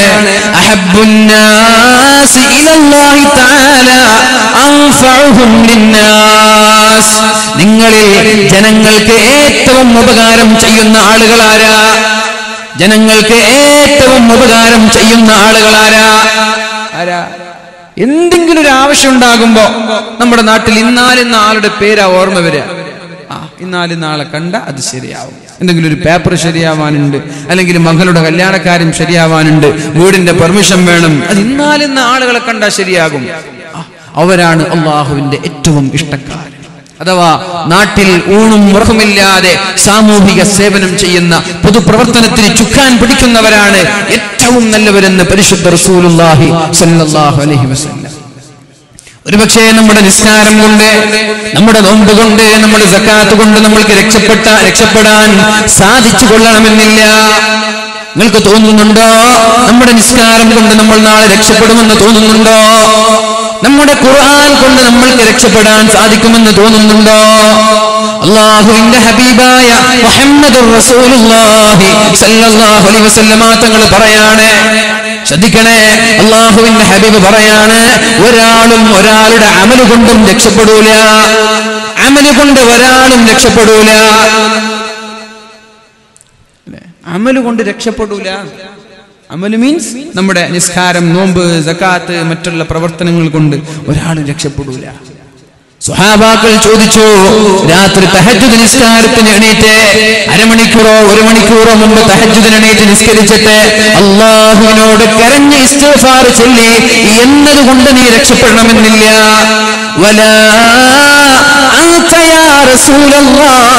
അള്ളാഹുവിന്റെ ഹബീബെ അങ്ങും നാളെ രക്ഷപ്പെടൂലേ. അങ്ങും നാളെ രക്ഷപ്പെടൂലേ അങ്ങയുടെ അമലുകൊണ്ട് അങ്ങയുടെ സൽപ്രവർത്തനം കൊണ്ട് അങ്ങും നാളെ രക്ഷപ്പെടൂലേ എന്ന് അള്ളാഹുവിന്റെ ഹബീബിനോട് തങ്ങളോട് സഹാബാക്കൾ ചോദിച്ചപ്പോഴാണ് അള്ളാഹുവിന്റെ ഹബീബ് പറഞ്ഞത് ഞാനും എന്റെ അമലുകൊണ്ട് രക്ഷപ്പെടൂല പോലും രക്ഷപ്പെടൂല. അള്ളാഹുവിന്റെ റഹ്മത്തില്ലാതെ അള്ളാഹുവിന്റെ ഫضലില്ലാതെ അള്ളാഹുവിന്റെ ഔദാരമില്ലാതെ ഞാനും എന്റെ അമൽ കൊണ്ട് രക്ഷപ്പെടുമെന്ന് എനിക്ക് തോന്നുന്നില്ല എന്ന് മുഹമ്മദ് അമൽ കൊണ്ട് രക്ഷപ്പെട്ടുകൊള്ളണമെന്നില്ല. പക്ഷേ രക്ഷപ്പെടാൻ ചില വഴികൾ അള്ളാഹു പറയുന്നുണ്ട്. അമലിന്റെ കൂടെ അവൻ ഒഴിവാക്കിയിട്ടല്ല. അമൽ ഒഴിവാക്കിയിട്ടല്ല നിസ്കാരം ഒഴിവാക്കിയിട്ടല്ല നിസ്കാരത്തിന്റെ കൂടെ തഹജുദ് ഒഴിവാക്കിയിട്ടല്ല തഹജുദിന്റെ കൂടെ രക്ഷപ്പെടാൻ ചില പൊടിക്കൈകൾ ചില വിദ്യകൾ അള്ളാഹുവിന്റെ ഹബീബ് സല്ലല്ലാഹു അലൈഹി വസല്ലം പഠിപ്പിക്കുകയാണ്. വഅയ്യുൽ അഅമാലി അഹബ്ബു ഇലല്ലാഹ്. ജനങ്ങളിൽ ഏറ്റവും അള്ളാഹുവിന് ഇഷ്ടം ആരോടാണെന്ന് ചോദിച്ചപ്പോ അള്ളാഹുവിന്റെ ഹബീബ് പറഞ്ഞത് ജനങ്ങൾക്ക് ഏറ്റവും ഉപകാരം ചെയ്യുന്നവരോടാണ് അള്ളാഹുവിന് ഏറ്റവും ഇഷ്ടം. അള്ളാഹുവിന് ഏറ്റവും കോപ ആരോടായിരിക്കും? അള്ളാഹുവിന് ഏറ്റവും ഇഷ്ടം ജനങ്ങൾക്ക് ഏറ്റവും ഉപകാരം ചെയ്യുന്ന ആളുകളോടാണ്. അള്ളാഹുവിന് ഏറ്റവും കോപം ആരോടായിരിക്കും? ജനങ്ങൾ ഉപദ്രവിക്കുന്നവൻ. ജനങ്ങളെ ദ്രോഹിക്കുന്നവൻ. ആവശ്യമില്ലാതെ ഒരു ആവശ്യം ഉണ്ടാവൂല. എന്നാലും ജനങ്ങളെ ബുദ്ധിമുട്ടിക്കുക ജനങ്ങളെ ദ്രോഹിക്കുക അങ്ങനെ ചില ആളുകൾ ആ ബോധം നൽകട്ടെ അള്ളാഹു ബോധം നൽകട്ടെ അത് അപകടമാണ്. അടുത്ത ചോദ്യം അള്ളാഹുവിന്റെ ഹബീബിനോട് ചോദിക്കുന്നുണ്ട് അള്ളാഹു ഏറ്റവും ഇഷ്ടപ്പെടുന്ന അമലേതാണ് നബിയെ. അള്ളാഹു ഏറ്റവും ഇഷ്ടപ്പെടുന്ന അമലേതാണ് നബിയെ.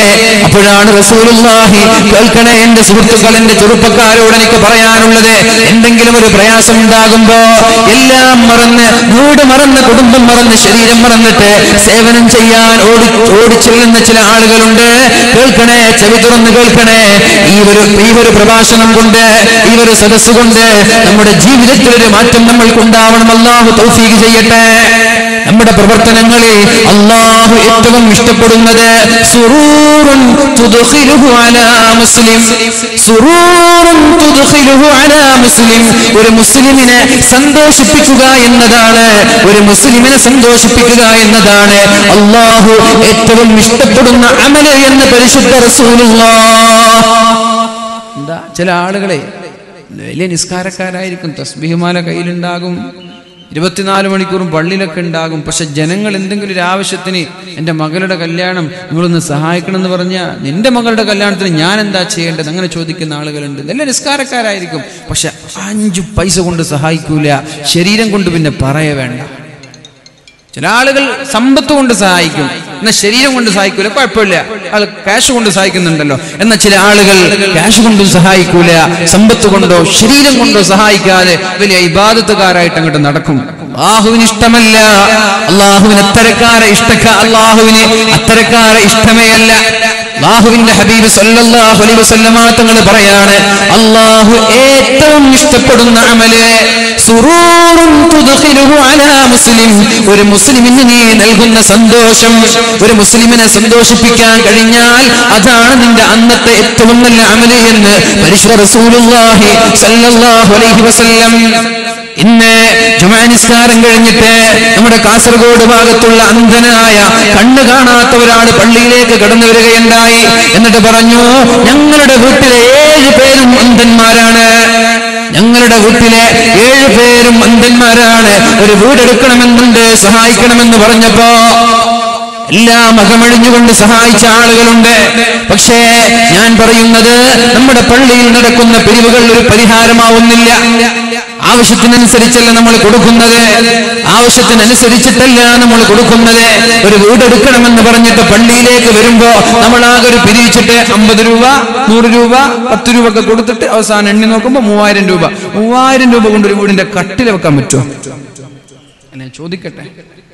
സ്വന്തമായിട്ട് നാലായിരം സ്ക്വയർ ഫീറ്റിന്റെ പതിനായിരം സ്ക്വയർ ഫീറ്റിന്റെ രണ്ടര കോടിയുടെ അഞ്ചു കോടിയുടെ ഒക്കെ വീട് നമ്മൾ നിർമ്മിക്കുമ്പോ പാവപ്പെട്ട ഒരാൾ നമ്മുടെ സമീപത്തേക്ക് കടന്നു വന്നിട്ട് കണ്ണിന് കാഴ്ചശക്തിയില്ല വീടെടുക്കാൻ സഹായിക്കുമോ എന്ന് ചോദിക്കുമ്പോ മാന്യമായ തുകയെങ്കിലും നമ്മൾ നൽകേണ്ടേ. സ്വന്തമായി വീടെടുത്ത് കൊടുക്കണമെന്നല്ല ഞാൻ പറയുന്നത്. അങ്ങനെ കൊടുക്കുന്ന ആളുകളുണ്ട്. അള്ളാഹു അവർക്ക് പ്രതിഫലം നൽകട്ടെ. അള്ളാഹു അവരെ അനുഗ്രഹിക്കട്ടെ. സ്വന്തമായി സഹായിക്കണമെന്നല്ല മാന്യമായ ഒരു തുകയെങ്കിലും നമ്മൾ നൽകണ്ടേ? മാലിക് ദിനാർ അലി അള്ളാഹുവിന്റെ ഉറുസായതുകൊണ്ട് ഇവിടെ ബക്കറ്റ് വിതരണമില്ല. അല്ലേ? ഇവിടൊക്കെ ബക്കറ്റ് വിതരണം ചെയ്താലേ ഒരു ഒരു അഞ്ച് പത്ത് ലക്ഷം രൂപയൊക്കെ സദസ്സ് തന്നെ സ്വരൂപിക്കാൻ പറ്റുന്ന ഒരു മേഖലയാണ്. മറ്റുള്ള വാതിലൊക്കെ ബക്കറ്റ് ഉണ്ടാകും. ബക്കറ്റ് ഇല്ലാത്ത വാതുകൾ കുറവാണ്. ആ ബക്കറ്റ് ഇങ്ങനെ വരുമ്പോ പോക്കറ്റിൽ നിന്ന് പൈസ എടുക്കും. രണ്ടായിരം ഉണ്ടാകും അഞ്ഞൂറുണ്ടാകും നൂറുണ്ടാകും അമ്പതുണ്ടാകും പത്തുണ്ടാകും. എന്നിട്ട് പത്ത് എടുത്തിട്ട് കൊടുക്കും. ഇല്ലേ? ഇല്ലേ? നിങ്ങൾ ആലോചിച്ച് നോക്കി. എന്നിട്ട് സംഘാടകരെ എണ്ണെന്നെ. ഈ ഒരു ഇത്തക്കളൊക്കെ കെട്ടാണ്. ഇങ്ങനെ എണ്ണി എണ്ണി പത്ത് അരമണിക്കൂർ എണ്ണി നോക്കുമ്പോൾ ആകത്തിലുള്ളത് ആയിരം രൂപ. എന്ത് കാര്യം? ഓരോന്നിനും ഒരു മാന്യതയുണ്ട്. നമ്മുടെ പള്ളിയിൽ മറ്റേ വണ്ടാരപ്പെട്ടില്ല എന്ന് എനിക്ക് തോന്നുന്നത്. ചില പള്ളികളിൽ ജുമാ നിസ്കാരം കഴിഞ്ഞ ഉടനെ ഒരു ഭണ്ഡാരപ്പെട്ടി വരും. അത് ഇങ്ങനെ നീങ്ങുമ്പോൾ ടിക് ടിക് ടിക് എന്നൊരു ശബ്ദം കേൾക്കാം. എന്താ അത് വീട്ടിൽ നിന്ന് പെറുക്കിയെടുത്തിട്ട് ഒരു രൂപയുടെ കോയിനും കൊണ്ടുവന്നിട്ട് ടിക് ഇട്ട് കൊടുക്കുക അഞ്ച് രൂപയുടെ കോയിൻ കൊണ്ടുവന്നിട്ട് ടിക്. മിനിമം അവിടെ ഒരു പത്തെങ്കിലും മിനിമം ഇടാൻ നമ്മൾക്ക് പറ്റണം. വാലിന്റെ സദസ്സിലേക്ക് ബക്കറ്റ് വരുമ്പോൾ മിനിമം ഒരു നൂറെങ്കിലും ഇടാൻ നമ്മൾക്ക് പറ്റണം. എല്ലാ ആളുകൾക്കല്ല. എല്ലാ ആളുകൾക്കും അങ്ങനെ കൊടുക്കാൻ കഴിഞ്ഞു കൊള്ളണമെന്നില്ല പക്ഷേ കഴിയുന്നവരുണ്ട്. അവരും ഇറ്റിക്കെന്ന് പറഞ്ഞിട്ട് ഒരു രൂപ രണ്ട് രൂപ ഇട്ട് കൊടുക്കരുത്. പത്ത് രൂപയുടെ നോട്ടൊന്നും ബക്കറ്റിൽ ഇട്ട് കൊടുക്കരുത്. ഇതൊക്കെ ഓരോന്നിനും ഒരു മാന്യതകളുണ്ട്. ഞാൻ പറഞ്ഞു വന്നത് വീടെടുക്കാൻ വരുമ്പോൾ അതിനനുസരിച്ച് കൊടുക്കണം. വെറുതെ ഒരാൾ വന്നിട്ട് വല്ലതും തരണേ. ഒരു പത്ത് രൂപ കുഴപ്പമില്ല. ഞാൻ വീടെടുക്കാൻ വളരെ കഷ്ടത്തിലാണ്. എന്ന് പറഞ്ഞ ഒരു മിനിമം നല്ലൊരു മാന്യമായ രീതിയിൽ സഹകരിക്കണ്ടേ? അത് അവരെ സന്തോഷിപ്പിക്കലാണ്. അന്ന് നമ്മൾ ചെയ്യുന്ന ആ ഒരു ദിവസത്തിൽ നമ്മൾ ചെയ്യുന്ന പ്രവർത്തനങ്ങളിൽ അള്ളാഹു ഏറ്റവും ഇഷ്ടപ്പെടുന്നത് ആ ഒരു മമ്മീനെ സന്തോഷിപ്പിച്ചതാണ്. നമ്മുടെ സമ്പാദ്യങ്ങൾ നമ്മൾ ഉണ്ടാക്കിയതല്ല നമ്മുടെ ഒന്നും നമ്മൾ ഉണ്ടാക്കിയതല്ല. എല്ലാം അള്ളാഹു തന്നതാണ്.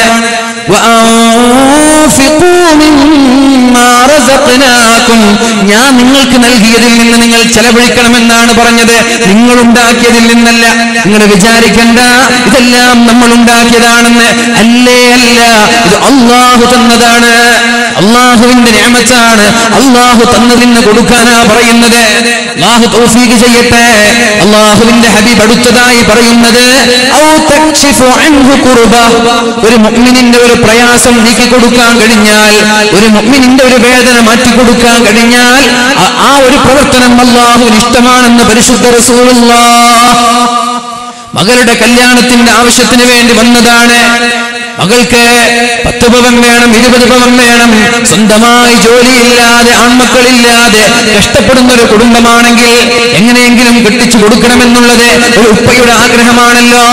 ആ സമയത്ത് ഉപ്പ ഒരു അരഭവൻ ഞാൻ തരാമെന്ന് പറഞ്ഞിട്ട് ആ ഉപ്പയുടെ പ്രയാസം നീക്കി കൊടുക്കാൻ നമ്മൾക്ക് സാധിച്ചാൽ അള്ളാഹു ഏറ്റവും ഇഷ്ടപ്പെടുന്ന അമൽ അതാണെന്ന് മുഹമ്മദ് അല്ലാതെ തസ്തിഹിമാല പിടിച്ചിട്ട് സുബഹിബാഗിന്റെ അരമണിക്കൂർ മുമ്പ് പള്ളിയിലേക്ക് നടന്നവരല്ല.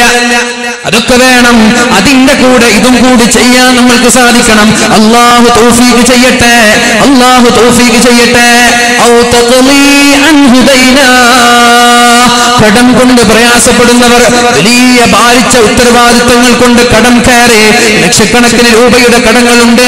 കടക്കാര് ചോദിച്ചു വന്നു കൊണ്ടിരിക്കുകയാണ് അദ്ദേഹത്തിന്റെ കയ്യിൽ കൊടുക്കാൻ കടങ്ങളില്ല. അപ്പോഴാണ് ഒരാൾ സമീപത്തേക്ക് വന്നിട്ട് സഹായിക്കുമോ എന്ന് ചോദിക്കുന്നത്.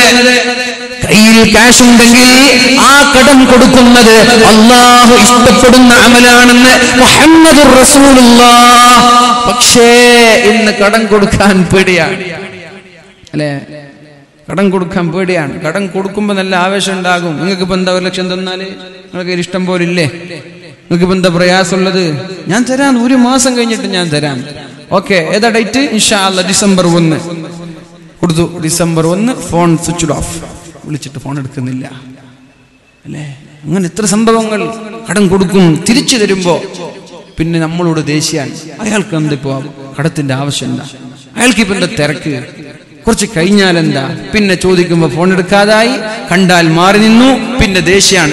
ഇയാൾ ചെയ്ത തെറ്റെന്താ? ഇയാൾ ഒരു സഹായം ചോദിച്ചപ്പോ ഒരു ലക്ഷം കൊടുത്തു എന്നുള്ളതാണ്. പിന്നെ ഇയാളോട് പണക്കാണ് അങ്ങനെ ഒരു കാലമാണ്. നന്മ ചെയ്താൽ വരെ അതിന്റെ പേരിൽ പ്രയാസം അനുഭവിക്കുന്ന ഒരു കാലാണ്. ഇപ്പൊ രാത്രി പന്ത്രണ്ട് മണിക്കും ഒരു മണിക്കൊക്കെ വീട്ടിലേക്ക് പോകുമ്പോൾ ചില ആളുകൾ വണ്ടിക്ക് കൈകാട്ടും പക്ഷെ നമ്മൾക്ക് വണ്ടിയിൽ കയറ്റാൻ പേടിയാണ് ആഗ്രഹമുണ്ട്. പക്ഷെ പേടിയാണ് അങ്ങനെ ഒരു കാലമാണ് റസൂലുള്ളാഹി സ്വല്ലല്ലാഹു അലൈഹി വസല്ലമ തങ്ങൾ പറയുന്നുണ്ട് അള്ളാഹു ഇഷ്ടപ്പെടുന്ന അമലാണ് കടം കൊണ്ട് പ്രയാസപ്പെടുന്നവരാ സഹായിക്കുക എന്നുള്ളത്. എല്ലാവരും സഹായിക്കണം. പക്ഷേ ഒരു കടം ചോദിച്ചാൽ കൃത്യമായി സമയത്ത് കൊടുക്കാൻ കഴിയുമെങ്കിൽ മാത്രമേ കടം ചോദിക്കാൻ പാടുകയുള്ളൂ പാടുള്ളൂ. ആളുകളെ വെറുപ്പിക്കരുത് സഹായിച്ചവനെ വേദനിപ്പിക്കരുത്. അതിനേക്കാളും വലിയ തെറ്റാണ്. പിന്നെയാണ് അള്ളാഹുവിന്റെ ഹബീബ് പറയുന്നത് വല അൻ അംശീ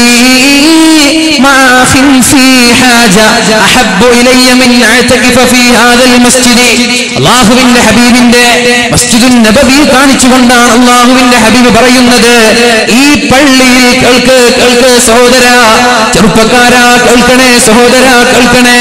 അള്ളാഹുവിന്റെ ഹബീബ് പറയാണ് ഈ മദീന പള്ളിയിൽ ഒരു മാസക്കാലം എത്തിക്കാഫിരിക്കുന്നതിനേക്കാളും എനിക്ക് ആഗ്രഹം എന്തെങ്കിലും ഒരു പ്രയാസം അനുഭവിക്കുന്നവന്റെ കൂടെ നടന്നിട്ട് അവന്റെ ആവശ്യങ്ങൾ വീട്ടിക്കൊടുക്കലാണെന്ന് മുഹമ്മദ് റസൂലുള്ള എന്ത്? എന്തെങ്കിലും ഒരു ആവശ്യമുള്ളവന്റെ കൂടെ നടന്നിട്ട് ഒരു പേപ്പർ ശരിയാക്കാനുണ്ട്. അല്ലെങ്കിൽ ഒരു പെൺകുട്ടിയുടെ കല്യാണം കഴിച്ചു കൊടുക്കാൻ ഒരു വീടെടുക്കാൻ ഒരു ജോലിയുടെ ആവശ്യം എന്തെങ്കിലും ഒരു ആവശ്യമുള്ള ഒരാൾ നമ്മുടെ സമീപത്തേക്ക് കടന്നു വന്നിട്ട് എന്നെ ഒന്ന് ഹെൽപ്പ് ചെയ്യുമോ? എന്നെ ഒന്ന് സഹായിക്കുമോ എന്ന് ചോദിക്കുമ്പോ ഞാൻ അവന്റെ കൂടെ നടക്കലാണ്.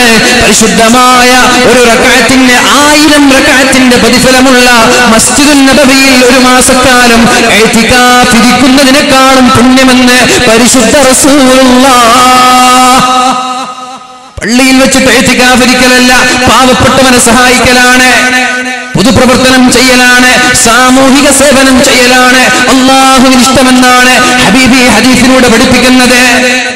അങ്ങനെ ചില ആളുകളുണ്ട് പള്ളിയിൽ ഒന്നാം സഫിലാണ് അതും ഇമാമിന്റെ നേരെ പിന്നിലാണ്. നാട്ടുകാർക്കൊരു സഹായം ചെയ്യൂല. സഹായം ചെയ്തില്ലെങ്കിലും കുഴപ്പമില്ല. ഇയാളുടെ നാവ് കൊണ്ട് ഇയാളുടെ സമ്പത്ത് കൊണ്ട് ഇയാളുടെ അയൽവാസികൾ പൊറുതിമുട്ടുകയാണ്. സഹോദരങ്ങളെ ആ നിസ്കാരം അള്ളാഹുവിന് വേണ്ടേ വേണ്ട. ആ നിസ്കാരം അള്ളാഹു സ്വീകരിക്കൂല. അള്ളാഹു പറയുന്നുണ്ട്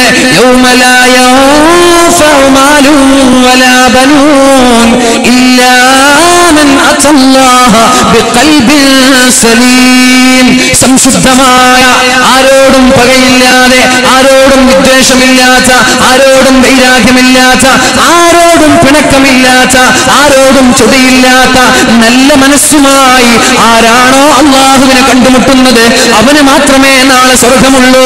ഒരു ലോകം വരാനുണ്ട്. നമ്മുടെ സമ്പാദ്യങ്ങളോ നമ്മുടെ സന്താനങ്ങളോ നമ്മുടെ സ്ഥാനമാനങ്ങളോ ഉപകരിക്കാത്ത ഒരു കാലം വരാനുണ്ട്. ഇവിടെ പള്ളിയുടെ സെക്രട്ടറിയാണ് എന്നത്. നാളെ ആഹ്റത്തിൽ ഉപകരിക്കൂല. ഇവിടെ സ്ഥാപനങ്ങളുടെ പ്രിൻസിപ്പാളായത് ആഹ്റത്തിൽ ഉപകരിക്കൂല. ഇവിടെ രാഷ്ട്രീയ പ്രസ്ഥാനത്തിന്റെ ഉന്നതമായ തട്ടുകളിൽ നിന്നത് ആളെ ആഹ്റത്തിൽ ഉപകരിക്കൂല.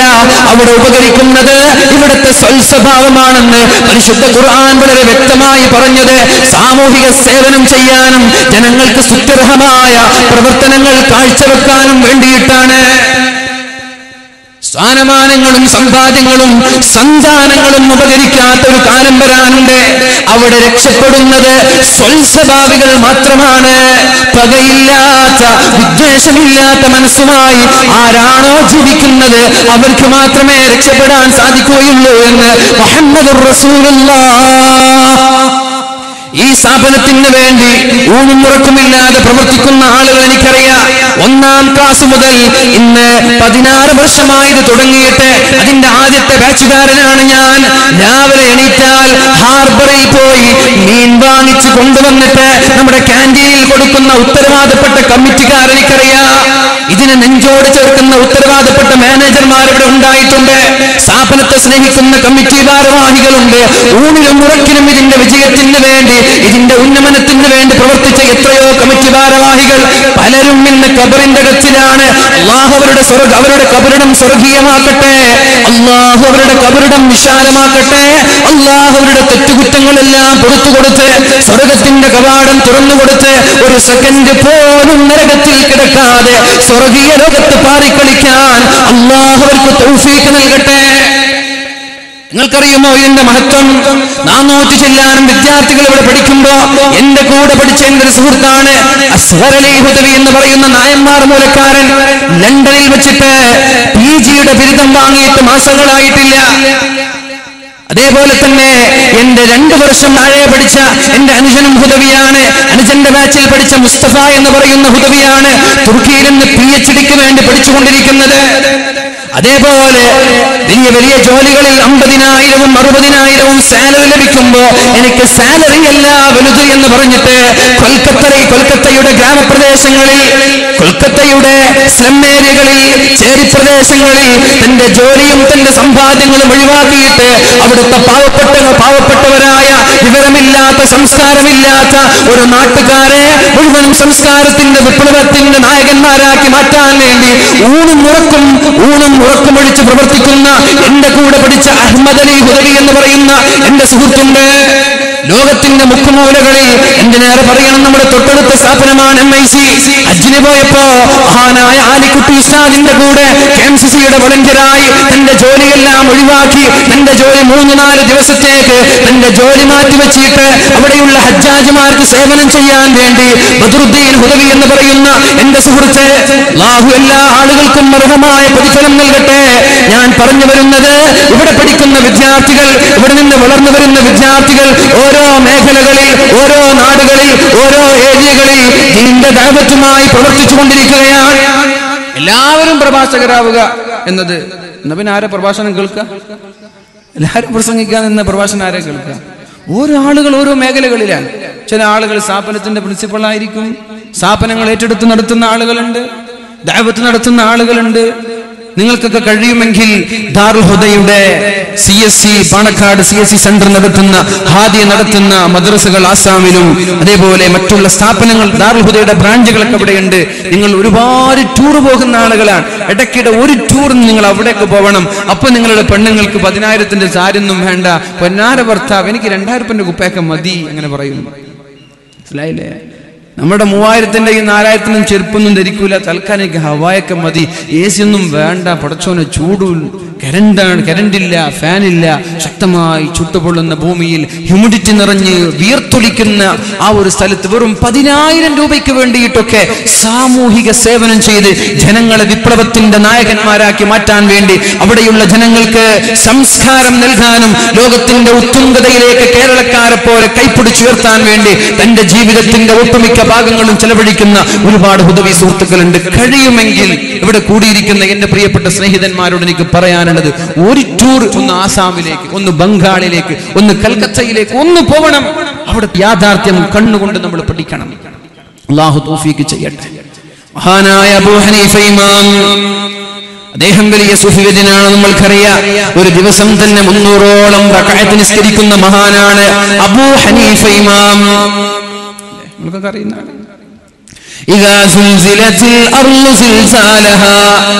എല്ലാവരും ഓതി നോക്കട്ടെ. ഉറക്കോതണേ കണ്ണു ചുമ്മി എല്ലാവരും കണ്ണു ചുമ്മിയ? ചുമ്മിയോ? ഇപ്പൊ എന്നെ കാണുന്ന ആളുകളൊക്കെ ഒന്ന് കൈ പൊക്കി. എന്നെ ആരൊക്കെ കാണുന്നുണ്ട്? ആ നിങ്ങൾ കണ്ണ് ചുമ്മിട്ടില്ല എന്നർത്ഥം കണ്ണ് ചുമ്മി എല്ലാവരും ഒന്ന് കണ്ണ് ചുമ്മി ഞാൻ ഓതുന്ന ഈ ആയത്ത് തന്നെ ഒന്ന് കോൺസെൻട്രേറ്റ് ചെയ്ത് അത് കേൾക്കുക ഞാൻ ഓതുമ്പോ. എന്നിട്ട് എന്റെ കൂടെ ഞാൻ ഊതി തന്ന ഉടനെ ഒന്ന് ചോദ. ഉറക്കോതണേ بسم الله الرحمن الرحيم സൗണ്ട് പോരാ ഞാൻ ഒറ്റയ്ക്ക് നിങ്ങളെക്കാൾ സൗണ്ട് ഇടുന്നുണ്ടല്ല إذا زلزلت الأرض زلزالها وأخرجت الأرض أثقالها وقال الإنسان ما لها يومئذ تحدث أخبارها بأن ربك أوحى لها يومئذ يصدر الناس أشتاتا ليروا أعمالهم فمن يعمل مثقال ذرة خيرا يره ومن يعمل مثقال ذرة شرا يره ആരെങ്കിലും മരിച്ചു പോണോ ആരെങ്കിലും ബോധം കെട്ടിട്ടോ മരിച്ചു പോണോ നോക്കിയ അപ്പുറത്തുള്ള ആളൊക്കെ നോക്കിയ ഉണ്ടാ ആരും വന്നിട്ടില്ല ഈ ആയത്ത് കേട്ട് എത്രയോ സലഫുസാലഹ്യങ്ങളായ മഹാന്മാർ ബോധം കെട്ട് കൊണ്ടിട്ടുണ്ട് മരിച്ചുപോയ ആളുകളുണ്ട്. നിസ്കാരത്തിൽ തോതി ബോധം കെട്ട് വീണു പിന്നെ രാത്രി അർദ്ധരാത്രി കഴിഞ്ഞതിന് ശേഷമാണ് ബോധം തെളിഞ്ഞത്. നമ്മൾ ഇത്ര കൂളായിട്ട് ഓതി ഓതി ഞാനും വീണിട്ടില്ല കേട്ട് നിങ്ങൾ വീണിട്ടില്ല മഹാനായ മഹാനായ അബൂ ഹനീഫ ഇമാം പള്ളിയിൽ ഇമാം ഓതുമ്പോഴാണ് ഈ ആയത്ത് കേട്ടിട്ട് സുബഹി വരെ കരഞ്ഞത്. ഉറക്കില്ല. സുബഹി വരെ കരഞ്ഞത് ഈ ആയത്ത് കേട്ടിട്ടാണ് മഹാനായ മഹാനായ അബൂ ഹനീഫ ഇമാം. ആ അബൂ ഹനീഫ ഇമാം വീട്ടിലിരിക്കുമ്പോൾ അദ്ദേഹത്തിന് ഒരു അയൽവാസി ഉണ്ടായിരുന്നു. കള്ള് കുടിയനായ ഒരു അയൽവാസി. ഇരുപത്തിനാല് മണിക്കൂറും കൂട്ടി തന്നെ. ഇന്നൊരു ഒരാൾ വന്നിട്ട് പറഞ്ഞു ഉസ്താദ് നിങ്ങൾ ദ്വാ ചെയ്യണം. എന്റെ ജ്യേഷ്ഠൻ വലിയ കുടിയനാണ് എന്റെ ജ്യേഷ്ഠൻ കുടിയനാണെന്ന് മാത്രമല്ല പരസ്യമായിട്ട് കുടിക്കും. ആരെങ്കിലും ഒന്ന് ഉപദേശിക്കാൻ പോയാൽ നീ ആരടാ? എന്റെ കബറിലേക്ക് നീ വരുന്നു എന്നൊക്കെ ചോദിക്കും. എന്തെങ്ങനെ കാലാവസ്ഥ അല്ലെ? എന്റെ കബറിലേക്ക് നീ വരുന്നുണ്ടോ? ആരെങ്കിലും ഒന്ന് ഉപദേശിക്കുമ്പോ അങ്ങനെയൊക്കെ പറഞ്ഞാൽ അള്ളാഹു നല്ല സ്വാലിഹായ സഹോദരനാക്കി അള്ളാഹു മാറ്റട്ടെ. ആ ഒരു തിന്മയിൽ നിന്ന് ആത്മാർത്ഥമായി ആമീബ വേദനയോടെ എന്നോട് പറഞ്ഞത് എനിക്ക് അവനൊന്നും സമ്പാദിച്ചിട്ട് എനിക്ക് തരണ്ട. അവന്റെ ഭാര്യയും മക്കളെങ്കിലും നോക്കാൻ വേണ്ടി ആ ഒരു തെറ്റിൽ നിന്ന് മാറി നിൽക്കാൻ വേണ്ടി നിങ്ങൾ ദ്വാ ചെയ്യണം. അതിന് എന്തെങ്കിലും ഒരു പരിഹാരമുണ്ടോ കാറിനടുത്ത് വന്ന് അരമണിക്കൂർ കൈ പിടിച്ച് കൈവിടുന്നില്ല ഞാൻ പറഞ്ഞു ഇൻഷാല്ല ഞാൻ ആലോചിച്ചിട്ട് പരിഹാരമുണ്ടോ? ഞാൻ നോക്കാം ഇൻഷാല്ല സദസ്സിലൊക്കെ ദ്വാ ചെയ്യാം. അള്ളാഹു അള്ളാഹുവേ നീയാണ് റബ്ബ്. അള്ളാഹുവേ നീ കാണുന്നുണ്ട്. അള്ളാഹുവേ നീ അറിയുന്നുണ്ട്. ആളെ നിനക്കറിയാം. റബ്ബേ. അള്ളാഹുവെ ആ ഒരു ചിന്മയിൽ നിന്ന് മാറി നിൽക്കാൻ നീ തൗഫീക്ക് നൽകണേ റബ്ബേ. അല്ലാഹുവേ ആ കുടുംബത്തെ അതുപോലെ കള്ളുകുടിയുടെ കഞ്ചാവിൻ മയക്കുമരുന്നിന്റെ അഡിക്റ്റായ എല്ലാ ആളുകൾക്കും അതിൽ നിന്ന് രക്ഷപ്പെടാൻ നീ തൗഫീക്ക് നൽകണേ റബ്ബേ. നമ്മുടെ ചെറുപ്പക്കാരെ മയക്കുമരുന്നിന്റെ അഡിക്റ്റ് ആക്കല്ല റബ്ബേ. അല്ലാഹുവേ നമ്മുടെ ചെറുപ്പക്കാരെ സംസ്കാരമുള്ള ദീനിനും നാടിനും ഉപകാരമുള്ള ഉമ്മമാർക്ക് മാതാപിതാക്കൾക്ക് കൺകുളിർമയുള്ള മക്കളാക്കണേ റബ്ബേ. നിങ്ങൾക്ക് ദുആയിൽ ഉൾപ്പെടുത്തണം. അള്ളാഹു രക്ഷപ്പെടുത്തട്ടെ. അപ്പൊ കള്ളുകുടിയനായ ഒരു അയൽവാസി മഹാനായ അബൂ ഹനീഫ ഇമാമിൻ ഉണ്ടായിരുന്നു. വെറും വലിയൊരു തെമ്മാടി കൂടിയാണ്. അദ്ദേഹം ഒരുപാട് ഉപദേശിച്ചു ഒന്ന് നിർത്തിക്കൂടെ? ഒന്ന് നിർത്തിക്കൂടെ? എത്ര കാലായി? ഒന്ന് നന്നായിക്കൂടെ?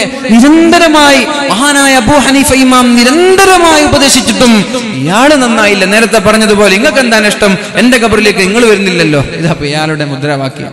ഇയാളുടെ തിയറി ഏതാണ്? എന്റെ കബറിലേക്ക് നിങ്ങൾ വരുന്നില്ലല്ലോ. അതുകൊണ്ട് എന്നെ വിട്ടേക്ക് എന്റെ വഴിയിൽ വിട്ടേക്ക്. അവസാനം മഹാനായ അബു ഹനീഫ ഇമാം ദേഷ്യം കൊണ്ടും നിരാശ കൊണ്ടും അദ്ദേഹത്തെ ഉപദേശിക്കുന്നതിൽ നിന്ന് മാറിന്ന് അദ്ദേഹത്തെ മെയിന്റ് ചെയ്യാതായി.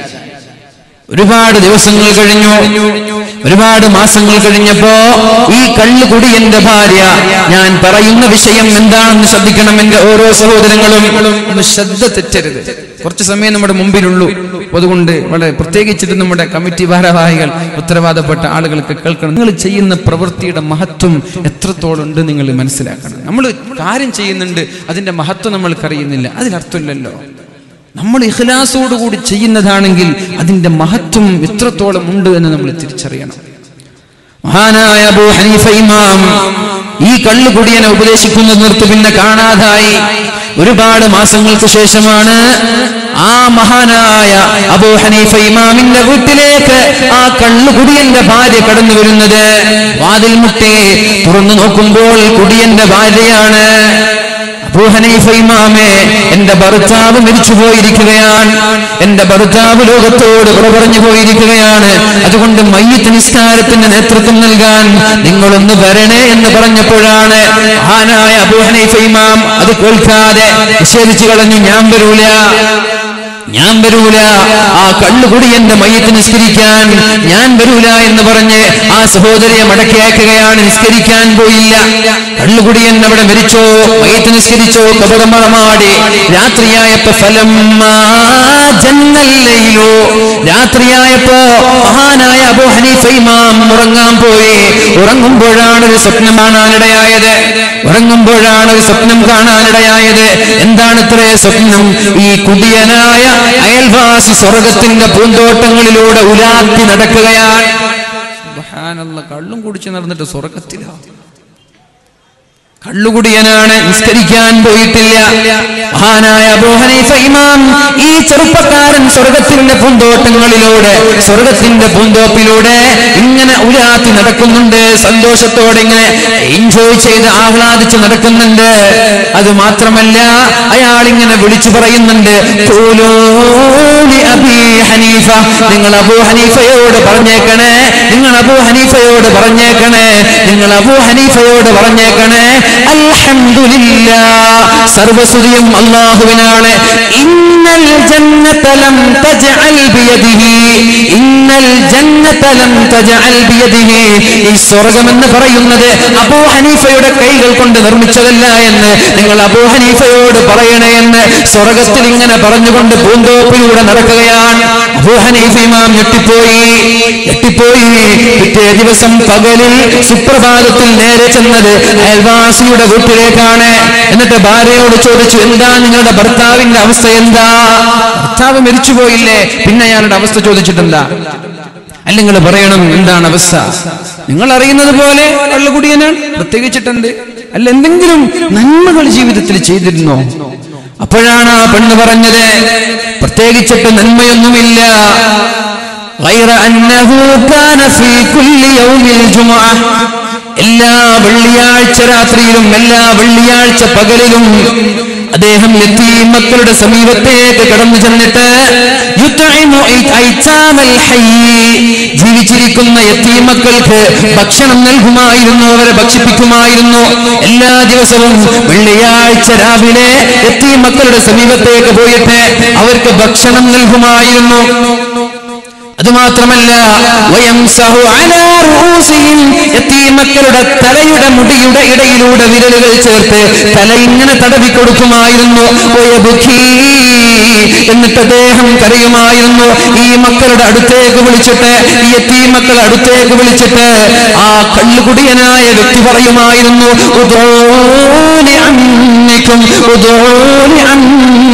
മക്കളെ എനിക്ക് വേണ്ടി ദ്വാ ചെയ്യണേ മക്കളെ എനിക്ക് വേണ്ടി പ്രാർത്ഥിക്കണേ മക്കളെ എനിക്ക് വേണ്ടി പ്രാർത്ഥിക്കണേ മക്കളെ എന്ന് ആഴ്ചയിൽ ഒരു തവണ ഒരു വെള്ളിയാഴ്ച മാത്രം എത്തിയമക്കളുടെ സമീപത്തേക്ക് പോയി അവർക്ക് ഭക്ഷണം നൽകി അവരെ ചെയ്യിപ്പിക്കുമായിരുന്നു ഈ ഒരു അമല കാരണത്താലായിരിക്കും എന്റെ ഭർത്താവ് സ്വർഗത്തിലേക്ക് എത്തിയത് എന്ന് ആ ഭാര്യ പറയുമ്പോ ഇവിടെ കൂടിയിരിക്കുന്ന സഹോദരങ്ങളോട് എനിക്ക് പറയാനുള്ളത് പതിനെട്ടായിരം രൂപ ഒരു വർഷത്തിലെ കുട്ടികളെ ഏറ്റെടുത്ത ആളുകൾ ഈ സദസ്സിനുണ്ട്?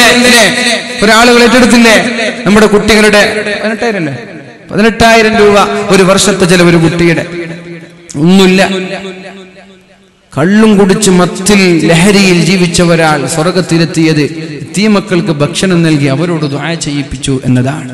മഹാനായ അബു ഹനീഫ ഇമാം പറഞ്ഞ ഉദ്ധരിച്ചൊരു സംഭവമാണിത്.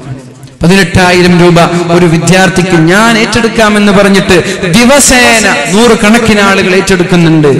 നിങ്ങൾക്കൊക്കെ അള്ളാഹു നൽകുന്ന പ്രതിഫലം അതാണ് എല്ലാ തിങ്കളാഴ്ച വൈകുന്നേരങ്ങളിലും നാനൂറ്റി ചില്ലാനും വിദ്യാർത്ഥികൾ നമ്മുടെ പള്ളിയുടെ മുകളിലെത്തി ഉസ്താദുമാരുടെ നേതൃത്വത്തിൽ ഒരു പ്രാർത്ഥന നടത്താറുണ്ട് അള്ളാഹുവേ اللهم انصرنا وانصر من نصرنا ونصر معهدنا يا خير الناصرين അല്ലാഹുവേ ഞങ്ങളെ സഹായിച്ച ഞങ്ങളുടെ സ്ഥാപനങ്ങളെ സഹായിച്ച ആളുകളെ നീ സഹായിക്കണേ അല്ലാ അള്ളാഹുവേ അവർക്ക് നീ റഹ്മത്തിന്റെ വാതിൽ തുറന്നു കൊടുക്കണേ അല്ലാഹുവെ അവർക്ക് നീ രുസിക്കിന്റെ വാതിൽ തുറന്നു കൊടുക്കണേ ലാഹുവേ അവർ അപകടങ്ങളിൽ നിന്ന് നീ രക്ഷപ്പെടുത്തണേയല്ല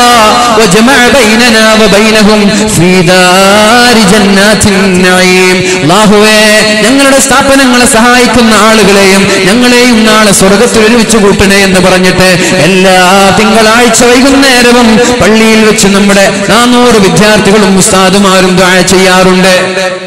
ആ ദ്വായിൽ ഒരു ഭാഗമാവാൻ നമ്മൾക്ക് ഭാഗ്യം ലഭിച്ചില്ലേ? നമ്മൾക്ക് അവസരം ലഭിച്ചില്ലേ? ആ പിഞ്ചോമന മക്കളുടെ പ്രാർത്ഥന അള്ളാഹു തള്ളിക്കളയുമോ? ആ മക്കളുടെ ദ്വാര് അതും മഹാനുഭാവന്റെ ഹലത്തിൽ വെച്ച് മഹാനായ മാലിക് ദിനാർ റളിയല്ലാഹു അൻഹുവിന്റെ സാന്നിധ്യത്തിൽ വെച്ച് അള്ളാഹു തള്ളിക്കളയുമെന്ന് തോന്നുന്നുണ്ടോ? നിങ്ങൾ ഒരിക്കലും ചെയ്തത് ചില്ലറ കാര്യമല്ല. അള്ളാഹു സ്വീകരിക്കട്ടെ. ഇനിയും സ്വീകരിക്കാൻ ആളുകളുണ്ടെങ്കിൽ നമ്മുടെ കൗണ്ടറുമായി ബന്ധപ്പെടണം. ഞാനിവിടെ ചോദിക്കണ്ടല്ലോ ഉസ്താദെ? സമയം പോലെ അല്ലേ?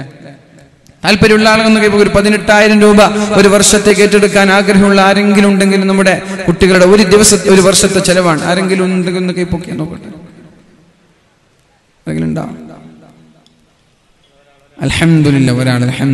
അള്ളാഹു സ്വീകരിക്കട്ടെ. അല്ലാഹുവേ അല്ലാഹുവേ അല്ലാഹുവേ. അപകടങ്ങളിൽ നിന്ന് നീ കാക്കണേ അല്ലാ. സമ്പാദ്യങ്ങളിൽ ബറക്കത്ത് ചെയ്യണേ അല്ലാ. അല്ലാഹുവേ അവരുടെ കുടുംബ ജീവിതങ്ങളിൽ നീ ഐശ്വര്യം നൽകണേ അല്ലാ. കൺകുളിർമയുള്ള ഭാര്യയായി കൺകുളിർമയുള്ള മക്കളായി കൺകുളിർമയുള്ള ഭർത്താവായി ആ കുടുംബത്തെ നീ സ്വീകരിക്കണേ സ്വതക്ക നൽകി രോഗം ചികിത്സിക്കണമെന്ന് പരിശുദ്ധ ഹബീബ് പറഞ്ഞതുപോലെ ഈ മഹത്തായ സംഭാവന കൊണ്ട് ഈ മഹത്തായ സ്ഥാപനത്തെ സഹായിച്ച ഈ ഒരു സംഭാവന കൊണ്ട് ആ കുടുംബങ്ങളെ നീ മാരകമായ രോഗങ്ങളിൽ നിന്ന് കാക്കണേയല്ല ലാഹുവേ അപകടങ്ങളിൽ നിന്ന് കാക്കണേയല്ല. പരിശുദ്ധ ഹബീബ് പറഞ്ഞതുപോലെ സ്വതക്ക് നൽകുന്ന ആളുകൾ ഈമാൻ സലാമത്തായി പുഞ്ചിരിച്ച് മരിക്കാമെന്ന് പറഞ്ഞതുപോലെ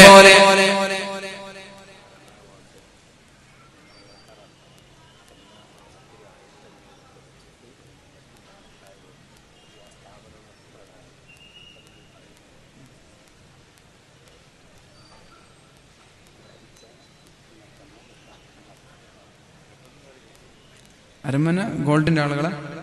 അരമന ഗോൾഡിലെ പ്രവർത്തകത്തിന്റെ ഓണേഴ്സ് ഇൻഷാ ഒരു മാസത്തിൽ ആയിരത്തി അഞ്ഞൂറ് എന്ന രീതിയിൽ ഒരു വർഷത്തിൽ പതിനെട്ടായിരം ഈ സ്ഥാപനം നിലനിൽക്കുന്ന കാലത്തോളം ഏറ്റെടുത്തിരിക്കുകയാണ്. അള്ളാഹു അർഹമായ പ്രതിഫലം നൽകി അനുഗ്രഹിക്കട്ടെ. സദഖ നൽകുന്ന ആളുകൾക്ക് ഈമാൻ സലാമത്തായി മരിക്കാമെന്ന് അള്ളാഹുവിന്റെ ഹബീബ് പറഞ്ഞതുപോലെ അള്ളാഹുവേ അള്ളാഹുവേ അള്ളാഹുവേ. ഈ രണ്ടു പേർക്കും അതുപോലെ ഇന്നലകളിൽ സംഭാവന ചെയ്ത എല്ലാ ആളുകൾക്കും ഇവിടെ ഒരുമിച്ച് കൂടിയ ആളുകൾക്ക് അവരുടെ പറക്കത്തുകൊണ്ട് ഈമാൻ സലാമത്തായി മരിക്കാൻ തോഫീക്ക് നൽകണേ അല്ല പതിനേഴ് വർഷമായി മക്കളില്ലാത്തൊരു സഹോദരൻ അള്ളാഹുവെ പതിനെട്ടായിരം രൂപ ഒരു കുട്ടിയുടെ ചെലവ് ഇവിടെ എടുത്തിരിക്കുകയാണ്. അള്ളാഹുവെ ആ സഹോദരന് മക്കൾ നൽകണേ അല്ല. അള്ളാഹുവെ മക്കളെ നൽകണേ അല്ല. നിനക്ക് മക്കളെ നൽകാൻ പ്രയാസമില്ലല്ലോ റബ്ബേ. നീയാണ് മക്കളെ നൽകുന്നത് ഡോക്ടർമാരല്ല. നീയാണ് മക്കളെ നൽകുന്നത് മരുന്നുകളല്ല. അള്ളാഹുവേ അള്ളാഹുവേ ഈ സഹോദരൻ നീ എത്രയും പെട്ടെന്ന് കൺകുളിർക്ക സന്തോഷിക്കാൻ സന്തോഷവാർത്ത നീ നൽകണേ അല്ല. ഒരു മകനല്ല സാലിഹീങ്ങളായ ഒരുപാട് മക്കളെ നീ നൽകണേ അല്ല. ഞങ്ങളുടെ ദ്വായിനെ നീ തള്ളിക്കണയല്ല റബ്ബേ. ഞങ്ങളുടെ ദ്വായിനെ നീ തട്ടിക്കളയല്ല അല്ലാ? ഏറ്റെടുത്ത എല്ലാ ആളുകൾക്കും ഈമാൻ സലാമത്തായി മരിക്കാനുള്ള തൗഫീക്ക് നൽകണേ അല്ലാ. മരണം വരെ ആഫിയത്തോടെ ഇസ്സത്തോടെ ജീവിക്കാൻ നീ തൗഫീക്ക് നൽകണേ അല്ലാ. ഇനിണ്ടാരെങ്കിലും വേഗം കൈപൊക്കി നമുക്ക് വേഗം വേല പറയാം. സമയം ഞാൻ ചെലവഴിക്കുന്നില്ല. അപ്പോ അങ്ങനെ താല്പര്യമുള്ള ആളുകൾ ഉണ്ടെങ്കിലും ഒന്ന് കൈപ്പൊക്കെ പെണ്ണുങ്ങളോ ആണുങ്ങളോ ആരെങ്കിലും ഉണ്ടെങ്കിൽ എഴുതിയിട്ട് കൊടുത്താൽ മതി. ഉണ്ട് ഒരാളുണ്ട്. അല്ലെ? അൽഹംദുലില്ലാ അല്ലാഹുവേ നീ സ്വീകരിക്കണേ റബ്ബേ. ഖൈറുക്കും മൻ തഅല്ലമൽ ഖുർആന വഅല്ലമ നിങ്ങളിൽ ഏറ്റവും നല്ലവൻ ഖുർആൻ പഠിക്കുന്നവനും പഠിപ്പിക്കുന്നവനുമാണെന്ന് പരിശുദ്ധ റസൂലുള്ളാഹ്. നമ്മൾ ചെയ്യുന്ന ജോലികളിൽ ഏറ്റവും നല്ല ജോലി പരിശുദ്ധമായ ഖുർആൻ പഠിപ്പിക്കലാണ്. നമ്മുടെ പഠന വിഷയങ്ങളിൽ ഏറ്റവും മഹത്വമുള്ളത് ഖുർആൻ പഠിക്കലാണ്. ആ സ്ഥാപനങ്ങളിൽ നാനൂറ് വിദ്യാർത്ഥികൾ ദൈനംദിനം ഓതിക്കൊണ്ടിരിക്കുന്ന ഓരോ സുബഹി നിസ്കാരം കഴിഞ്ഞ് ഓരോ വിദ്യാർത്ഥികളും ഇരുപത് മിനിറ്റ് ഖുർആൻ ഓതുന്നുണ്ട്. ഏഴേ മുക്കാലിന് പിരീഡ് തുടങ്ങിയാൽ നാല് പത്ത് വരെ ദീനുമായി ബന്ധപ്പെട്ട് കിടക്കുന്നവരാണ്. ആരാണ് ആലിമ്യങ്ങൾ എന്ന് പറയുന്നത്? ആരാണ് മുത്താലിമ്യങ്ങൾ എന്ന് പറയുന്നത്? സമുദ്രങ്ങളിലെ സമുദ്രങ്ങളിലെ മത്സ്യങ്ങൾ അവർക്ക് വേണ്ടി പ്രാർത്ഥിക്കുന്നുണ്ട്. ആകാശങ്ങളിലുള്ളവർ മുഴുവനും ഭൂമിയിലുള്ള സകല ചരാചരങ്ങളും അവർക്ക് വേണ്ടി പ്രാർത്ഥിക്കുന്നുണ്ട്. അള്ളാഹു പ്രാർത്ഥിക്കുന്നുണ്ട്. മലക്കുകൾ പ്രാർത്ഥിക്കുന്നുണ്ട്. അള്ളാഹു ബഹുമാനിച്ച അള്ളാഹു ആദരിച്ച വിഭാഗമാണ് ആലിമ്യങ്ങളും താലിമ്യങ്ങളും അള്ളാഹുവിന്റെ ദീൻ നിലനിർത്താൻ വേണ്ടി ആവേശത്തോടെ ഏറ്റെടുത്ത ഈ ആളുകൾ. അള്ളാഹുവെ അവരെ നീ ഏറ്റെടുക്കണേ അല്ല. അവരുടെ ദുനിയാവും ആഹ്റവും വിജയത്തിലാക്കണേ അല്ല. അപകടങ്ങളിൽ നിന്ന് കാക്കണേ അല്ല. അള്ളാഹുവെ അവരുടെ പറക്കത്ത് കൊണ്ട് ഞങ്ങളെയും നീ കാക്കണേ അല്ല. ഈ സദസ്സിനെ നീ വിജയത്തിലാക്കണേ അല്ല. ഉണ്ടോ? അതിലേക്ക് പോ സഹോദരൻ കൂടി. അള്ളാഹുവെ സ്വീകരിക്കണേ റബ്ബേ. അർഹമായ പ്രതിഫലം നൽകണേ അല്ലാ. അള്ളാഹുവെ ഓരോ വിദ്യാർത്ഥി പഠിക്കുമ്പോഴും ഒരു ഹർഫിന് പത്ത് ഹസനത്ത് എന്ന രീതിയിൽ ഇഷാ അല്ലാ നാളെ മരിച്ചു കിടക്കുമ്പോ നമ്മുടെ കബറിലേക്ക് അതിന്റെ ഒരു ഓഹരി നൽകണേ അല്ലാ. ഇന്ന യൽഹഖുൽ മുഅ്മിന മിൻ വഹസനാതിഹി മിൻ ബഅദി മൗതിഹി ഇൽമൻ അല്ലമഹു വനശറ നമ്മൾ മരിച്ചാൽ നമ്മുടെ കബറിലേക്ക് നിരന്തരമായി കടന്നു വരുന്ന നന്മകളുണ്ട്. നമ്മൾ മരിക്കലോടുകൂടി നമ്മുടെ നന്മകൾ അസ്തമിക്കുന്നില്ല ചെറുപ്പക്കാരാ. ആരെന്ത് പറഞ്ഞാലും ആര് വാട്സപ്പിലൂടെ ഫേസ്ബുക്കിലൂടെ സോഷ്യൽ മീഡിയകളിലൂടെ ഇല്ലാത്ത നുണപ്രചരണങ്ങൾ പ്രചരിപ്പിച്ചാലും.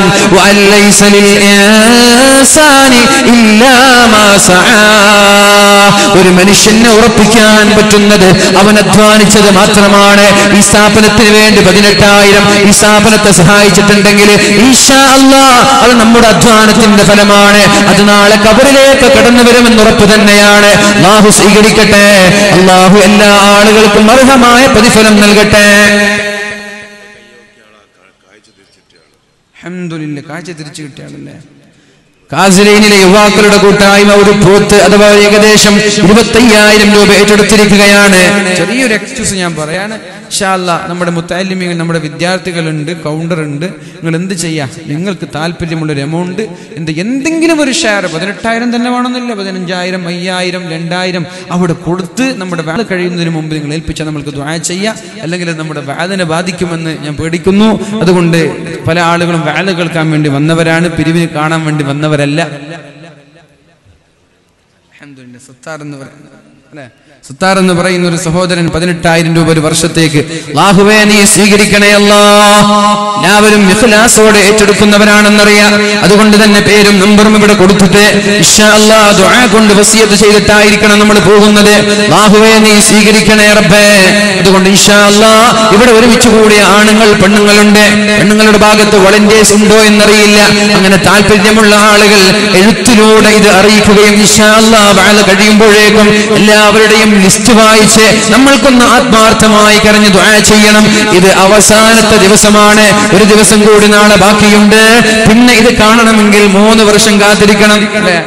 മൂന്ന് വർഷം കാത്തിരിക്കണ്ടേ? ഇപ്രാവശ്യം അഞ്ചു വർഷത്തോളായി തോന്നുന്നത്. നല്ല മനോഹരമായ ഒരു പള്ളി.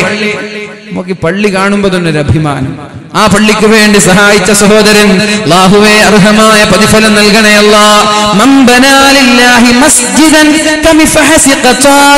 ഒരു മാടപ്രാവിന് ഇരിക്കാൻ പറ്റുന്ന പള്ളി ഒരാൾ നിർമ്മിച്ചാൽ സ്വർഗീയ ലോകത്ത് അവന് വേണ്ടി അള്ളാഹു ഒരു വീട് പണിയുമെന്ന് പരിശുദ്ധ റസൂലുള്ളാഹ് ഇതിൽ ഒരു മാടപ്രാവല്ല ലക്ഷക്കണക്കിന് മാടപ്രാവലിരിക്കുക അല്ലേ? എന്നോട് മിനിഞ്ഞാന്നേ ഒരാൾ ചോദിച്ചു ഇത്ര പള്ളി ഇത്ര വലിയ പള്ളിയൊക്കെ വേണോ? ഞാൻ പറഞ്ഞു ഇവിടെ വലിയ തിരക്കുള്ള പള്ളിയല്ലേ. പരിശുദ്ധ റമദാനിന്റെ അവസാനത്തെ വെള്ളിയാഴ്ചയൊക്കെ വലിയ തിരക്കായി പുറത്തല്ലേ നിസ്കരിക്കുക നിങ്ങൾ എന്താ പറയുന്നത്? ആ ഈ പള്ളിയുടെ അതേ വലിപ്പുള്ള ഒരു പള്ളി അപ്പുറത്ത് കൂട്ടിയിട്ടുണ്ട് ഇത്രയൊക്കെ വേണമെന്ന് ചോദിച്ചു. ഇന്ന് ജുമാക്ക് പള്ളിയിൽ സ്ഥലം തികയാതെ പുറത്ത് നിസ്കരിച്ചു. പള്ളി വേണോ? വേണ്ടേ. എന്താണ്? പള്ളി വേണോ? വേണ്ടേ. ചില ആളുകൾക്ക് ഇങ്ങനെ ഡൗട്ട് ഉണ്ടാകും. ഇത്ര വലിയ പള്ളിയൊക്കെ വേണോ? ഇവിടെ പാവപ്പെട്ട കുറെ ആളുകളുണ്ട്. അവരെ സഹായിച്ചുകൂടെ? പള്ളി വേണോ? വേണ്ടേ. ഇന്ന് പുറത്ത് നിസ്കരിച്ചു. സ്ഥലമില്ലാഞ്ഞിട്ട് അക്കാഡമിയിലെ ഒരു കുട്ടിയുടെ ഒരു കൊല്ലത്തെ ചെലവേറ്റെടുക്കാൻ പന്ത്രണ്ട് കൊല്ലമായി കുട്ടികളില്ല ദുആ ചെയ്യണം. അല്ലാഹുവേ മക്കളെ നൽകണേ അല്ലാ. അല്ലാഹുവേ മക്കളെ നൽകണേ അല്ലാ. ഒരു മനുഷ്യന്റെ ദാമ്പത്യ ജീവിതം ആഗ്രഹിക്കുന്നത് തന്നെ ആ കുഞ്ഞുമക്കളുടെ കുസൃതി കാണാനാണ്. ആ കുഞ്ഞുമക്കളുടെ ആ കുഞ്ഞുമക്കളുടെ കുസൃതികൾ കാണാനാണ് അള്ളാഹുവിന്റെ ഹബീബ് ഒരുപാട് സമയം പിഞ്ചോമന മക്കളുടെ കൂടെ ചെലവഴിച്ചതറിയ നിസ്കരിക്കുമ്പവരെ തോളത്ത് വെച്ച് നിസ്കരിച്ചിട്ടുണ്ട് അള്ളാഹുവിന്റെ ഹബീബ് ഒരിക്കലും ഹസൻ അലി മടിയിൽ വെച്ചിട്ട് നബി തങ്ങൾ ഇങ്ങനെ നാവ് പുറത്തിട്ടു ഇങ്ങനെ നാവ് പുറത്തിട്ടു. നബി തങ്ങളുടെ ആ ചുവന്ന നാവ് കാണുമ്പോൾ ഹസൻ അലി അള്ളാഹുവിനെ പിടിക്കാൻ നോക്കി. പിടിക്കുമ്പോൾ നബി തങ്ങൾ വേഗം നാവ് ഉള്ളിലേക്ക് അകത്തേക്ക് വലിച്ചു. കാണുന്നില്ല. കുട്ടിയല്ലേ? കുട്ടി ഇങ്ങനെ തരയാണ് ഇവിടെ കാണുന്നില്ല കൈ കിട്ടു നോക്കി കാണുന്നില്ല. പിന്നെ കുട്ടി ഇങ്ങനെ വേറെന്തൊക്കെ കളിയിലായി? കുറച്ച് കഴിയുമ്പോൾ വീണ്ടും നബി നാവുമല്ല പുറത്തിട്ടു. കുട്ടി വീണ്ടും പിടിക്കാൻ നോക്കി. ഇങ്ങനെയൊക്കെ പിഞ്ചോമന മക്കളോട് കളിപ്പിച്ച് രസിപ്പിച്ചാണ് അള്ളാഹുവിന്റെ ഹബീബ് ജീവിച്ചത്. അതേപോലെ ഈ ആളുകൾക്കൊക്കെ ആഗ്രഹമുണ്ടാവൂലെ? പിഞ്ചോമന മക്കളുടെ കരച്ചിൽ കാണാൻ. എന്നോടൊരാൾ പറഞ്ഞത് ഞാൻ ഓർക്കുകയാണ്. മറ്റുള്ള ആളുകളുടെ മക്കൾ കരയുമ്പോ ഞങ്ങൾക്ക് ദേഷ്യം വരാനുണ്ട്. പക്ഷേ സ്വന്തമായിട്ടൊരു കുഞ്ഞുണ്ടാകുമ്പോ ആ കുഞ്ഞിന്റെ കരച്ചിൽ കാണാൻ ആനന്ദമാണ്. അല്ലേ? ആ കുഞ്ഞിന്റെ സ്വന്തം കുഞ്ഞിന്റെ കരച്ചിൽ കാണാൻ ആനന്ദാണ്. മറ്റുള്ള മക്കൾ ജ്യേഷ്ഠന്മാർ അല്ലെങ്കിൽ ജ്യേഷ്ഠത്തിമാർ.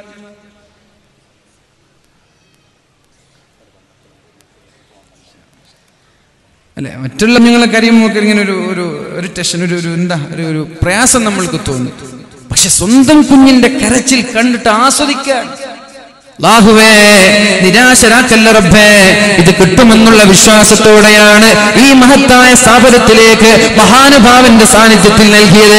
ലാഹുവേ നീ നിരാശനാക്കല്ല അല്ലാഹുവേ നീ ഒരാളെയും നിരാശരാക്കല്ല റബ്ബേ. പൂർത്തീകരിച്ചു കൊടുക്കണേ അല്ല. ഒരു സഹോദരൻ ആയിരത്തി അഞ്ഞൂറ് രൂപ അല്ലേ? അദ്ദേഹം അല്ലേ? അള്ളാഹുവെ അദ്ദേഹത്തിന്റെ ആഫിയത്ത് നീ നിലനിർത്തി കൊടുക്കണേ അല്ല.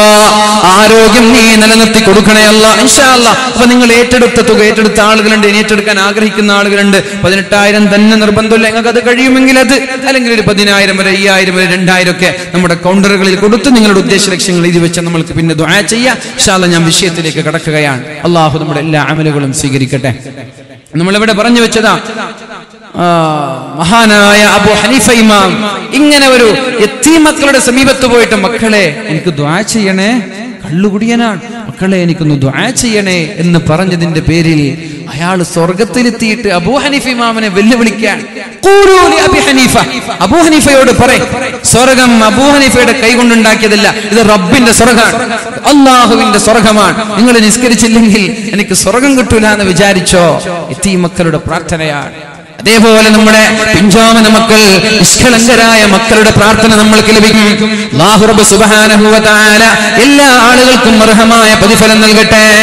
പറഞ്ഞു വരുന്നത് എന്റെ പ്രിയപ്പെട്ട സഹോദരങ്ങളോട് പൊതുപ്രവർത്തകരോട് വളണ്ടിയർമാരോട് എനിക്ക് പലപ്പോഴും പറയാറുള്ളത് പല വാലുകളിലും പറയാറുള്ളത് വാലിന്റെ കണ്ടന്റ് പൊതുപ്രവർത്തകരോടാണ് വളണ്ടിയർമാരോടാണ്. സത്യത്തിലെ ഈ വാലൊക്കെ സംഘടിപ്പിക്കുന്നത് നമ്മുടെ വളണ്ടിയർമാർക്ക് ചെറുപ്പക്കാർക്ക് വേണ്ടിയിട്ടാണ്.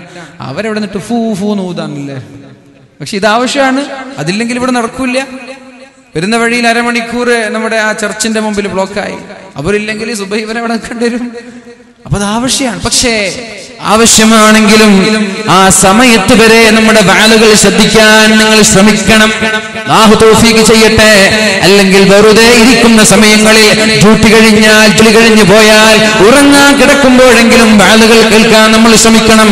എങ്കിലേ നമ്മുടെ ജീവിതത്തിൽ മാറ്റം ഉണ്ടാവുകയുള്ളൂ. അല്ലാഹു തൗഫീഖ് ചെയ്യട്ടെ. മഹാനായ ഇബ്നു ഉമർ റളിയല്ലാഹു അൻഹു റിപ്പോർട്ട് ചെയ്യുന്ന ഒരു ഹദീസ് കാണാം. അന്ന റസൂലുള്ളാഹി സ്വല്ലല്ലാഹു അലൈഹി വസല്ലം അല്ലാഹുവിന്റെ ഹബീബ് പറയാണ് ഇന്ന അല്ലാഹുവിന് ചില അടിമകളുണ്ട്. അള്ളാഹുവിന് ചില ഇഷ്ടക്കാരുണ്ട്. അള്ളാഹുവിന് ചില ഖലീഫമാരുണ്ട്. എന്താണ് അവരുടെ പ്രത്യേകത? അള്ളാഹു അവരെ ഏൽപ്പിച്ച ദൗത്യം അവരെപ്പോഴും ജനങ്ങളുടെ ആവശ്യവുമായി ബന്ധപ്പെട്ട് കിടക്കുന്നവരാണ്. ഗൾഫിലില്ല ചില ആളുകൾ സൗദിയിലൊക്കെ ഗൾഫിൽ പ്രവാസ ലോകത്തൊക്കെ പോയ ആളുകൾക്കറിയാം. ആരെങ്കിലും ഒരാൾ മരിച്ചു എന്ന് പറഞ്ഞാൽ പിന്നെ അവർക്ക് വിശ്രമില്ല നമ്മളൊരു സുഹൃത്തിന്റെ ജാതിയേരിയിൽ ഇസ്മായിൽ ക എന്ന് പറയുന്ന എന്റെ ഒരു പ്രിയപ്പെട്ട സുഹൃത്താണ്. അവിടെ കൂക്ഷ എന്ന് പറയുന്ന കഫ്റ്റീരിയ ഒരുപാട് കഫ്റ്റീരിയകളൊക്കെ നടത്തുന്ന ആളാണ്.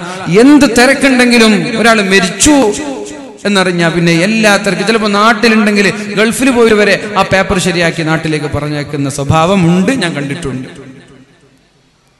അങ്ങനെ ചില ആളുകളുണ്ട്. അപ്പോൾ ആരെങ്കിലും മരിച്ചു എന്ന് പറഞ്ഞാൽ ആദ്യം ഓർമ്മ വരാൻ വേണ്ടി ഇസ്മായിൽ കണ്ടന്റെ ജാതിയേരി. പിന്നെ കാഞ്ഞങ്ങാട് ഒരു സഹോദരന്റെ പേര് ഞാൻ ഓർമ്മിക്കുന്നില്ല. അങ്ങനെ ഒരു പല മേഖലകളിൽ പല ആളുകളുണ്ട്. എന്തെങ്കിലും എന്തെങ്കിലും ഒരു വിഷയം വരുമ്പോൾ ആദ്യം ഓർമ്മ വരുന്നത് അവരുടെ പേരാണ്. ആദ്യം ഓർമ്മ വരുന്നത് അവരുടെ പേരാണ്. അങ്ങനെയുള്ള ചില ആളുകൾ ഭൂമിയിലുണ്ട്.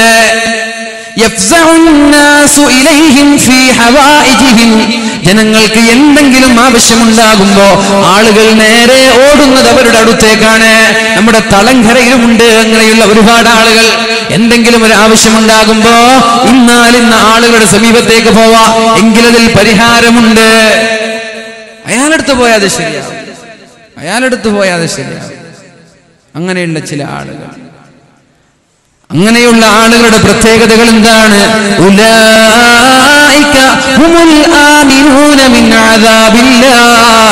അവർ അള്ളാഹുവിന്റെ അദാബിൽ നിന്ന് അള്ളാഹുവിന്റെ നരകത്തിൽ നിന്ന് രക്ഷപ്പെട്ടവരാണ് എന്ന് മുഹമ്മദ് നമ്മൾ എന്തെങ്കിലും ആവശ്യമുണ്ടാകുമ്പോ ആരുടെ പേരാണ് ആദ്യം ഓർമ്മ വരുന്നത്? സ്ഥാപനത്തിൽ എന്തെങ്കിലും ഒരു കാര്യം ആവശ്യമുണ്ട് എന്തെങ്കിലും ഒന്ന് ചെയ്യാനുണ്ട്. ഇന്നാലിന്ന് കമ്മിറ്റിക്കാരെ വിളിച്ചത് ശരിയാവും. എന്നാലും നാളെ വിളിച്ചാൽ അത് എന്തായാലും അത് കോളാവുന്ന ഉറപ്പാണ്. അപ്പൊ അയാൾക്ക് വിളിക്കുന്ന വേണ്ട. ശരിയാവുന്ന ആൾക്ക് വിളിക്കാം. അയാളുടെ പ്രത്യേകത എന്താ.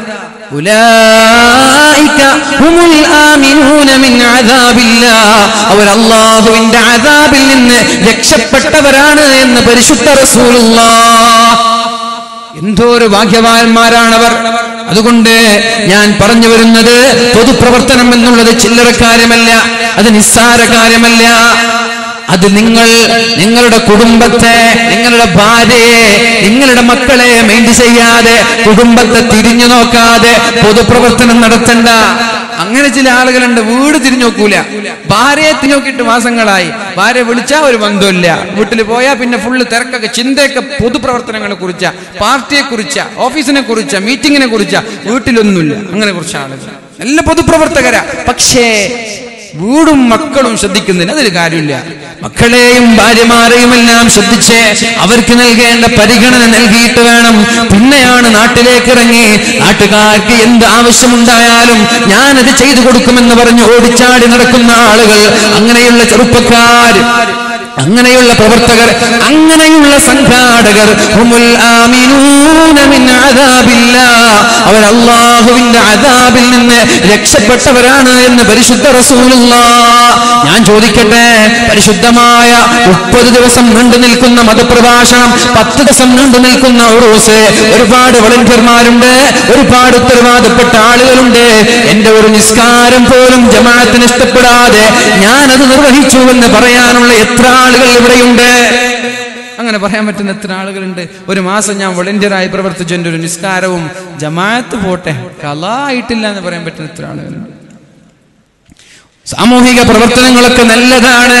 നിസ്കാരം ഒഴിവാക്കിയിട്ടുള്ള സാമൂഹിക പ്രവർത്തനങ്ങൾക്ക് പ്രസക്തിയില്ല. മഹാനായ വലിയുല്ലാഹി ടിപ്പു സുൽത്താൻ ടിപ്പു പരിചയമില്ലാത്ത ആളുകളില്ല. അല്ലെ? മൈസൂരിലെ സിംഹം എന്നറിയപ്പെടുന്ന മൈസൂരിലെ പുലി എന്നറിയപ്പെടുന്ന ടിപ്പു സുൽത്താൻ മക്കളില്ലാത്ത ആളുകൾ കേൾക്കണേ. ഇവിടെ വന്ന് സിയാറത്ത് ചെയ്യുന്നതിനെ പരിഹസിക്കുന്ന ചില വാട്സപ്പ് ശേഖന്മാരുണ്ട്. അല്ലേ? ഞങ്ങളുടെ വാട്സപ്പിലൊക്കെ അതിന്റെ വീഡിയോകൾ കാണാം. അതിന്റെ ഓഡിയോകൾ കേൾക്കാം. വിഡ്ഢികളായ ചില ആളുകൾ വിവരദോഷികളായ ചില ആളുകളുണ്ട്. ഞാൻ പറയട്ടെ ടിപ്പു സുൽത്താൻ എന്ന് പറയുന്നത് അള്ളാഹുവിന്റെ വരിയാണ് അദ്ദേഹം. ഹൈദരലി ഖാനും ഫഹുർനിസൈക്കും മക്കളില്ലാതെ ഒരുപാട് കാലം പ്രാർത്ഥിച്ചിട്ട് ടിപ്പു മസ്താൻ എന്ന് പറയുന്ന ദർഗയിലേക്ക് നിരന്തരമായി അവിടെ ചെന്നിട്ട് ഫഖുർനിസ എന്ന് പറയുന്ന ഹൈദരലി ഖാന്റെ ഭാര്യയ്ക്ക് എപ്പോഴും മക്ബറയിൽ തന്നെ ഇരുന്നിട്ട് ചെയ്യലായിരുന്നു പണി. നിരന്തരമായി മക്ബറയിൽ വന്ന് ദ്വാ ചെയ്തിട്ട് അള്ളാഹ് ഒരു കുഞ്ഞിക്കാൽ കാണാൻ ഭാഗ്യം നൽകി. ആ കുഞ്ഞിക്കാലാണ് ആ കുഞ്ഞുമോനാണ് ടിപ്പു സുൽത്താൻ എന്ന പേരിൽ അറിയപ്പെടുന്നത്. ആ മസ്താന്റെ ദർഗയിൽ ചെന്നിട്ട് ദുആ ചെയ്ത് പ്രാർത്ഥിച്ച് ലഭിച്ച കുഞ്ഞായത് കാരണം ഞാൻ പറയുന്നത് ഇന്ന് തുടങ്ങിയതല്ല മക്കാമിൽ പോയി ദ്വാ ചെയ്യുന്നത്. കാഴ്ചശക്തി കിട്ടാൻ കേൾവി ശക്തി ലഭിക്കാൻ മക്കളെ ലഭിക്കാനൊക്കെ മക്ബറയിൽ പോയി മസാറിൽ പോയി ഔലിയാക്കളുടെ മഹാന്മാരുടെ സമീപത്തേക്ക് പോയി ദുആ ചെയ്യാൻ തുടങ്ങിയത് രണ്ടായിരത്തിലല്ല രണ്ടായിരത്തി പതിനെട്ടിലല്ല ഒരുപാട് വർഷങ്ങൾക്ക് മുമ്പ് ടിപ്പു സുൽത്താന്റെ മാതാവ് നിരന്തരമായി മസ്താന്തർകയിൽ ദ്വാ ചെയ്തിട്ട് അള്ളാഹു ഒരു കുഞ്ഞിനെ നൽകുകയുണ്ടായി. ഏത് മഹാനുഭാവന്റെ സമീപത്ത് വെച്ചാണോ ദ്വാ ചെയ്തത്? അത് കാരണത്താൽ കുഞ്ഞ് ലഭിച്ചത് കാരണം ആ മഹാനുഭാവന്റെ പേര് ഞാൻ എന്റെ മകന് നൽകുമെന്ന് ഉമ്മ നേർച്ചയാക്കി. ആ മഹാന്റെ പേര് ഞാൻ എന്റെ മകന് നൽകുമെന്ന് നേർച്ചയാക്കി. ആ പേരാണ് പ്രസവിച്ചപ്പോൾ ടിപ്പു സുൽത്താൻ എന്ന പേര് നൽകിയത്. ടിപ്പു സുൽത്താൻ ടിപ്പു മസ്താൻ എന്ന് പറയുന്ന മക്ബറയിൽ പോയി ദ്വാ ചെയ്തതിന്റെ ഫലമായി കുഞ്ഞ് ലഭിച്ചത് കാരണത്താലാണ് ടിപ്പു സുൽത്താൻ എന്ന പേര് മഹാനായ ടിപ്പു സുൽത്താൻ നൽകിയത്. മഹാൻ എന്ന് പറയുന്നത് വെറുതെയല്ല അള്ളാഹുവിന്റെ വലിയാണ് അദ്ദേഹം. നമ്മൾ പഠിച്ചിട്ടില്ല ആർ എസ് എസ്സുകാരന്റെ വർഗീയ വർഗീയവാദികളുടെ പരിശുദ്ധമായ അള്ളാ പരിശുദ്ധമായ മഹാഭാരതത്തിന്റെ സംസ്കാരങ്ങൾക്ക് കളങ്കമേൽപ്പിച്ചുകൊണ്ട് പഴയകാല പ്രതാപങ്ങളെ നഷ്ടപ്പെടുത്തിക്കൊണ്ട് വർഗീയവാദങ്ങൾ പ്രചരിപ്പിക്കുന്ന ചില ആളുകളുണ്ട്. അവർക്ക് ടിപ്പ് വർഗീയവാദിയാണ്. അവർക്ക് ടിപ്പ് തീവ്രവാദിയാണ്. പക്ഷേ ഞാൻ പറയട്ടെ ടിപ്പുവിന്റെ ചരിത്രം യാഥാർത്ഥ്യമായി. അത് പകൽ വെളിച്ചം പോലെ വ്യക്തമാണ്. ചില ബ്രിട്ടീഷുകാർ ചില ബ്രിട്ടീഷുകാർ ചില ബ്രിട്ടീഷുകാരായ എഴുത്തുകാർ അവരുടെ താല്പര്യങ്ങൾക്ക് വേണ്ടി ടിപ്പു സുൽത്താനെ ഇകഴ്ത്തി എഴുതേണ്ടത് ടിപ്പു സുൽത്താനതിരെ കരിവാരി തേക്കേണ്ടത് അവരുടെ അധികാരത്തിന്റെ ആവശ്യമായതുകൊണ്ട് ഒരുപാട് ഇല്ലാത്ത നുണപ്രചരണങ്ങൾ നുണക്കണക നുണക്കഥകൾ എഴുതി വെച്ചിട്ട് അതേപോലെ കോപ്പി അടിച്ചിട്ട് നമ്മുടെ ഭാരതത്തിലെ ചില ആളുകൾ മഹാനായ ടിപ്പു സുൽത്താനെ തീവ്രവാദിയാക്കാനും വർഗീയവാദിയാക്കാനും ശ്രമിക്കുമ്പോ എന്റെ ചെറുപ്പക്കാരോട് പറയുന്നത് വാട്സപ്പിൽ കളിച്ച് സമയം കൊല്ലുമ്പോ ഫേസ്ബുക്കിൽ കളിച്ച് സമയം കൊല്ലുമ്പോ വെറുതെ അനാവശ്യമായി നടന്നിട്ട് അലഞ്ഞു തിരിഞ്ഞിട്ട് സമയം കൊല്ലുമ്പോ നമ്മുടെ മഹാന്മാരായ പൂർവസൂരി പൂർവസൂരികളായ ഒരുപാട് മഹാന്മാരുടെ ചരിത്രം നമ്മൾ പഠിക്കേണ്ടതുണ്ട്.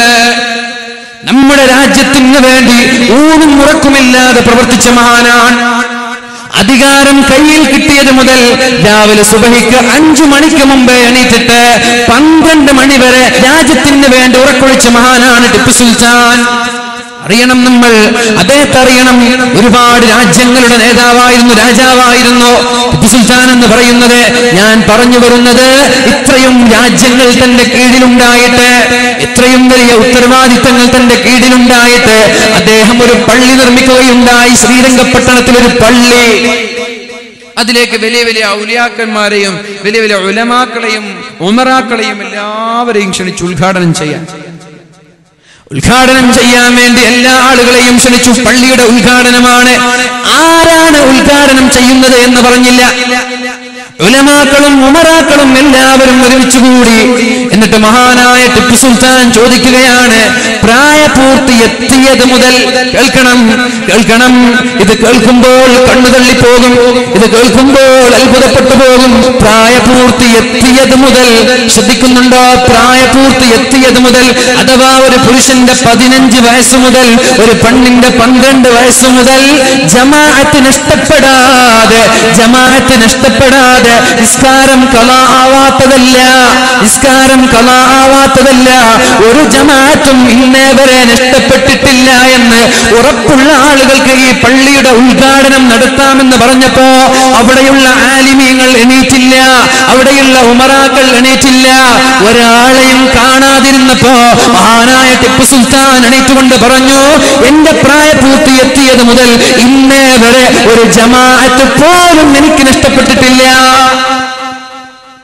നമുക്ക് നിസ്കാരം കലായിട്ടില്ല എന്ന് പറയാൻ പറ്റുമോ? പ്രായപൂർത്തി എത്തിയത് മുതൽ നിസ്കാരം കലായിട്ടില്ല. എന്താ നിസ്കാരം? മീറ്റിംഗ് ആണ്. തിരക്ക് പിടിച്ച മീറ്റിംഗ് നിസ്കാരം കലായി. ഒന്ന് സഹോദരങ്ങളെ ആ മീറ്റിംഗ് ഇഷ്ടമാണ് നിസ്കാരം കലാക്കിയിട്ടുള്ള മീറ്റിങ്ങുകൾ വാൽ തന്നെ പേടിയാണ്. രാത്രി ഒരു മണി വരെയൊക്കെ നീണ്ടു നിൽക്കുന്ന വാൽ. ഇനി നിങ്ങൾ മിക്കവാറും പല ആളുകൾ വീട്ടിലെത്തുമ്പോൾ രണ്ട് മണി മൂന്ന് മണി കടന്നുങ്ങി സുബഹി നഷ്ടപ്പെട്ടു. കഷ്ടമാണ്. പേടിയാണ് ആ വിഷയങ്ങളൊക്കെ. വാഹു നിസ്കാരമൊന്നും നഷ്ടപ്പെടാതെ മരണം വരെ നിലനിർത്താൻ അള്ളാഹു തോഫിക്ക് ചെയ്യട്ടെ. എന്റെ പ്രായപൂർത്തി എത്തിയത് മുതൽ ഒരു ജമാഅത്തും നഷ്ടപ്പെട്ടിട്ടില്ല എന്ന് പറഞ്ഞിട്ട് മഹാനായ ടിപ്പു സുൽത്താൻ പള്ളി ഉദ്ഘാടനം ചെയ്ത ചരിത്രമാണിത്. ആരാണ് ടിപ്പു സുൽത്താൻ? നമ്മളെവിടെ നമ്മൾക്ക് കിട്ടിയ ഉത്തരവാദിത്തം പഞ്ചായത്തിന്റെ പ്രസിഡന്റാണ്. അല്ലേ?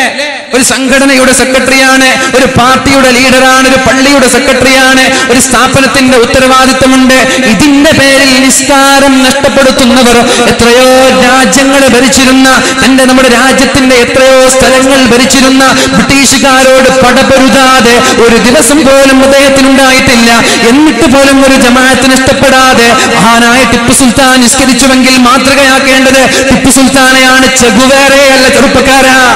ചെറുപ്പക്കാർക്ക് ഇന്ന് റോൾ മോഡൽ ചെഗുവേരയാണ് ആരാണ് ചെഗുവേര എന്താണ് ദീനിന് നൽകിയത്? എന്ത് സംസ്കാരമാണ് പഠിപ്പിച്ചത്? നാടിന് വേണ്ടി രാഷ്ട്രത്തിന് വേണ്ടി എന്താണ് നൽകിയത്? ചില ചെറുപ്പക്കാരുണ്ട്.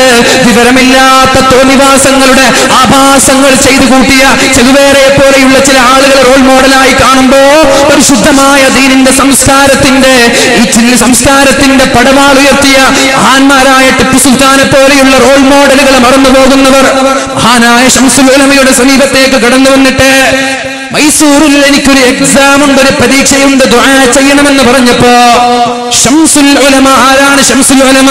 ഷംസുൽ ഉലമയ്ക്ക് ശേഷം അദ്ദേഹത്തെ കവച്ചു വെക്കുന്ന ഒരു പണ്ഡിതൻ ഇവിടെ കടന്നു വന്നിട്ടില്ല. ഉണ്ടോ?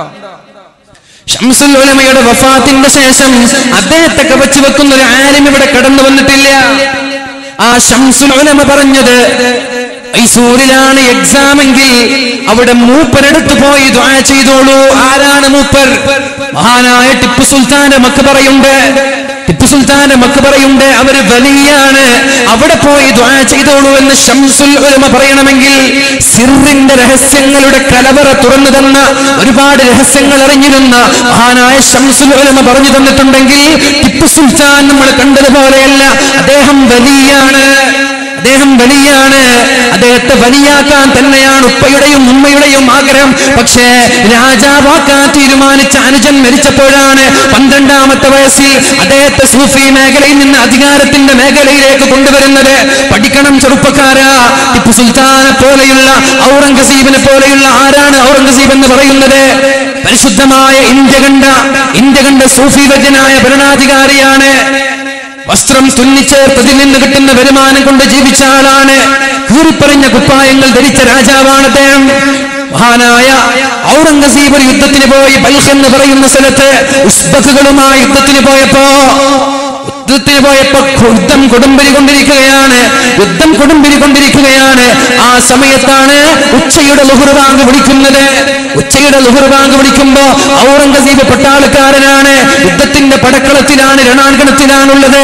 ആ രണാങ്കണത്തിൽ വെച്ചിട്ട് യുദ്ധം കൊടുമ്പിരി കൊള്ളുന്ന സമയത്ത് ജമാഅത്തായി നിസ്കരിക്കാൻ വേണ്ടി ആളുകളോട് കൽപ്പന പുറപ്പെടുവിച്ചപ്പോ പട്ടാളക്കാർ ചോദിച്ചോ വേണോ അമീറേ ഇത്? വേണോ അമീറേ ഇത്? ഇത് നമ്മൾ ആത്മഹത്യപരമല്ലേ ശത്രുക്കൾ നാലു ഭാഗം വളഞ്ഞു നിൽക്കുമ്പോ നിസ്കരിക്കുക എന്ന് പറയുന്നത് അപകടമല്ലേ? അദ്ദേഹം കേൾക്കാതെ ജമാഅത്തായി മുഹുർ നിസ്കരിച്ചപ്പോ തൊട്ടപ്പുറത്തുള്ള ഉസ്ബക്കുകാരായ ആളുകൾ ഈ നിസ്കാരം കൊണ്ട് പേടിക്കുകയും ഇത്രത്തോളം അള്ളാഹുവിനെ പേടിയുള്ള ഒരാളോട് യുദ്ധം ചെയ്യുന്നത് തന്നെ അപകടം അപകടമാണെന്ന് പറഞ്ഞ് വാൾ വെച്ചോ ആയുധം വെച്ചോ മഹാനായ ഔറംഗസീബിന്റെ മുമ്പിൽ മുട്ടുമടക്കിയിട്ടുണ്ട് മുട്ടുമടക്കിയിട്ടുണ്ട്. തന്റെ പിതാവ് ഷാജഹാൻ താജ്മഹൽ നിർമ്മിച്ചപ്പോ യമുനയുടെ മറുഭാഗത്ത് മറ്റൊരു താജ്മഹൽ അതിന് തത്തുല്യമായി വേറെ ഒന്നും കൂടി നിർമ്മിക്കാൻ ആളുകളെ ഏൽപ്പിച്ചിട്ട് ആ പണി പുരോഗമിച്ചു കൊണ്ടിരിക്കുമ്പോഴാണ് മരിച്ചു പോകുന്നത്. അപ്പോഴാണ് ഔറംഗസീബ് പറഞ്ഞത് ഉപ്പ ചെയ്തതാണെങ്കിലും ശരി തെറ്റ് തന്നെയാണ്. ജനങ്ങളുടെ ഖജനാവിൽ നിന്ന് ജനങ്ങളുടെ സമ്പാദ്യങ്ങളിൽ നിന്ന് എടുത്തുകൊണ്ടിങ്ങനെ ഒരു ശവകുടീരം നിർമ്മിക്കുന്നത് നല്ലതല്ല. പൊളിച്ചു മാറ്റാൻ പറഞ്ഞു ആ പാലവും രണ്ടാമത്തെ താജ്മഹലും ഇങ്ങനെയുള്ള മഹാന്മാരാണ് നമ്മുടെ റോൾ മോഡൽ ചെഗുവേറയല്ല എന്താ പഠിക്കാത്തത് എന്റെ ചെറുപ്പക്കാരൻ? പഠിക്കാൻ വേണ്ടി സമയം കണ്ടെത്തണം നമ്മൾ.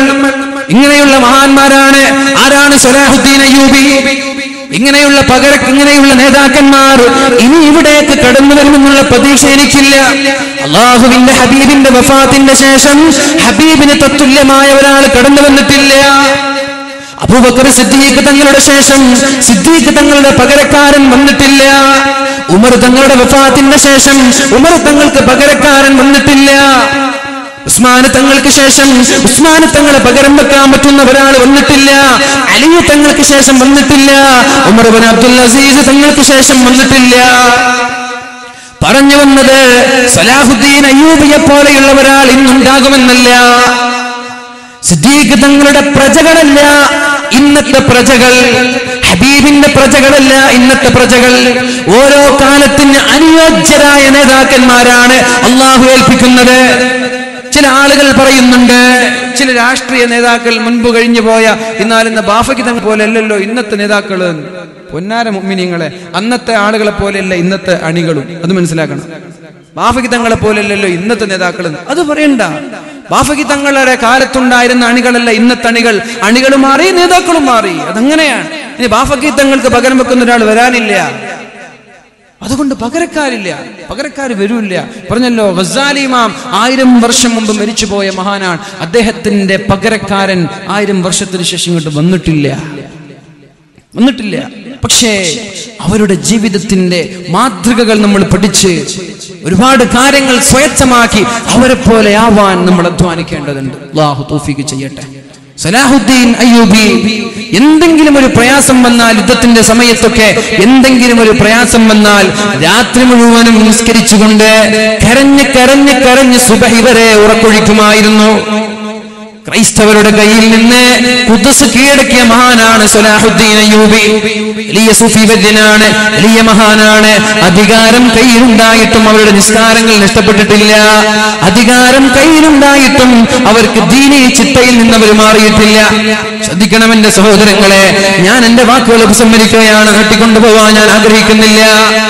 മഹാന്മാരായ സലാഹുദ്ദീൻ അയ്യൂബിയെ പോലെ ടിപ്പു സുൽത്താനെ പോലെയുള്ള ഔറംഗസീബിനെ പോലെയുള്ള വളരെ പ്രഗത്ഭരായ ആളുകളെയാണ് അവരുടെ ചരിത്രമാണ് നമ്മൾ പഠിക്കേണ്ടത്. അവരെയാണ് നമ്മൾ മാതൃകയാക്കേണ്ടത്. റസൂലുള്ളാഹി അലൈഹി വസല്ലമ തങ്ങൾ നമ്മൾക്ക് പഠിപ്പിച്ചു തന്നതും അത് തന്നെയാണ്. അബ്ദുൽ ജീലാനി അസീസ്. അറിയാത്ത ആളുകളുണ്ടോ? മുതലായ റമദാനിൽ മുപ്പത് നാളിലും മുല കൂടിക്കും കാലം മുലയെ തോടാ ചോവ. കേട്ടിട്ടില്ലേ?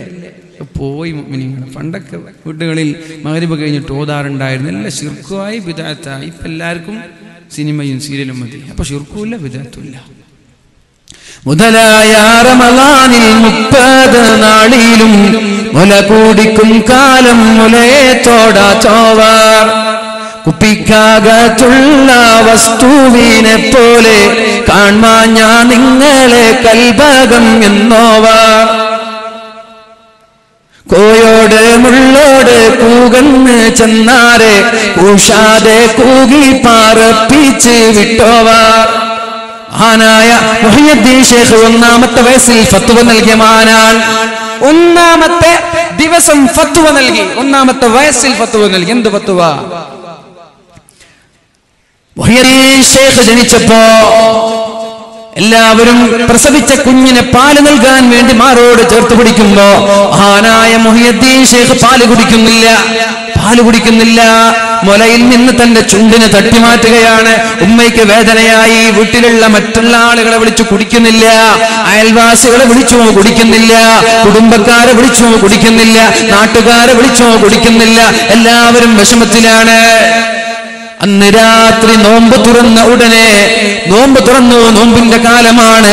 നോമ്പ് തുറന്ന ഉടനെ മുഹിയദ്ദീൻ ശേഖനെ മാറോട് ചേർത്ത് ഉമ്മ പാൽ നൽകിയപ്പോ ആവേശത്തോടെ കുടിച്ചു. പ്രസവിച്ച ദിവസം തന്നെ നോമ്പ് നോറ്റ മഹാനാണ് മഹാനായ മുഹിയദ്ദീൻ ശേഖ് അബ്ദുൽ ഖാദിർ ജീലാനി. മുപ്പത് ദിവസം നോമ്പ് നോറ്റു. ആദ്യത്തെ മുപ്പത് ദിവസം നോമ്പ് നോറ്റു. പിന്നെ അടുത്ത വർഷമായി നോമ്പിന്റെ സമയമായപ്പോ നിലാവ് നോക്കാൻ വേണ്ടി ചന്ദ്രനെ കാണാൻ വേണ്ടി ആളുകളൊക്കെ പുറത്തിറങ്ങി. അനസ്രലി അള്ളാഹുന് വാർദ്ധക്യകാലത്ത് എല്ലാവരും സുന്നത്താണ്. റമദാൻ ഒന്നാകുമ്പോൾ ചന്ദ്രനെ കാണൽ സുന്നത്താണ്. അത് ഉണ്ടോ ഇല്ലെന്ന് കണ്ടാലും കണ്ടില്ലേലും ഏതെങ്കിലും ഉയരത്തിൽ പോയി കാണൽ സുന്നത്താണ്. അങ്ങനെ അള്ളാഹുനു പോയി. ആർക്കും കണ്ടില്ല. അനസർ അലി അള്ളാഹുനുവിന് മാത്രം ചന്ദ്രനെ കണ്ടു. ഞാൻ കാണുന്നുണ്ടല്ലോ എന്ന് പറഞ്ഞു. എല്ലാവരും പോയിട്ട് നോക്കി ആരും? എവിടെ? ഞങ്ങൾ കാണുന്നില്ലല്ലോ. നിങ്ങൾ ഈ വാർദ്ധക്യ കാലത്ത് നിങ്ങൾ എങ്ങനെ കാണുന്നത്? അല്ലല്ല ഞാൻ കാണുന്നുണ്ട്. നിങ്ങൾ കാണുന്നില്ലേ? അപ്പൊ ഒരാൾ പോയിട്ട് എന്ത് ചെയ്തു? അദ്ദേഹത്തിന്റെ പിരികം ഇങ്ങനെ വടിച്ചു കൊടുത്തു. പിരികം ഇങ്ങനെ വടിച്ചു കൊടുത്തു. ഇനി കാണുന്നുണ്ടോ? ആ കാണുന്നില്ല. സംഭവം ഒരു പിരികം ഇങ്ങനെ പുറത്തേക്ക് വന്നിട്ട് ഇങ്ങനെ തള്ളി നിന്നപ്പോ അത് അദ്ദേഹം ചന്ദ്രകലയായി കണ്ടുപോയതാണ്. ആ വാർദ്ധക്യ കാലത്ത് വരെ പുറത്തിറങ്ങി ചന്ദ്രനെ നോക്കി സുന്നത്താണ്. അങ്ങനെ ആളുകളൊക്കെ ഇറങ്ങി ചന്ദ്രനെ കാണാൻ കാണുന്നില്ല. മേഘാവൃതമായ രാത്രി. ഇനിയിപ്പോ ചന്ദ്രനെ കാണുന്നില്ല. നോമ്പാണോ അല്ലേ എന്ന് എങ്ങനെ ഇപ്പൊ മനസ്സിലാവുക? അപ്പോഴാണ് ചില ആളുകൾ പറഞ്ഞത് നാളെ രാവിലെ എന്ന് പറയുന്ന കുഞ്ഞ് പാൽ കുടിക്കുന്നുണ്ടോ ഇല്ലേ എന്ന് നോക്കാം. സുബഹി നിസ്കാരം കഴിഞ്ഞിട്ട് ഉമ്മ പാൽ കൊടുത്തു കുടിക്കുന്നില്ല. റമദാൻ ഒന്നാണ് തീരുമാനിച്ചു. റമദാൻ ഒന്നാണ് തീരുമാനിച്ചു. അതാണ് പറഞ്ഞത് മുതലായ റമദാനിൽ മുപ്പത് നാളിലും മുല കൂടിക്കും കാലം മുലയെ തോടാത്തോവാർ ആരാണ് അദ്ദേഹം പറയുകയാണ് മാ വസൽതു തആല രാത്രി മുഴുവനും നിന്നനുസ്കരിച്ചത് കൊണ്ടല്ല എനിക്ക് ഈ സ്ഥാനം ലഭിച്ചത്. വലാ സിയാമി പകൽ മുഴുവനും നോമ്പെടുത്തത് കൊണ്ടുമല്ല എനിക്ക് ഈ സ്ഥാനം ലഭിച്ചത്. വലാകിൻ വസൽതു ഇലല്ലാഹ്. അള്ളാഹു എനിക്ക് ഈ സ്ഥാനം തരാനുള്ള കാരണം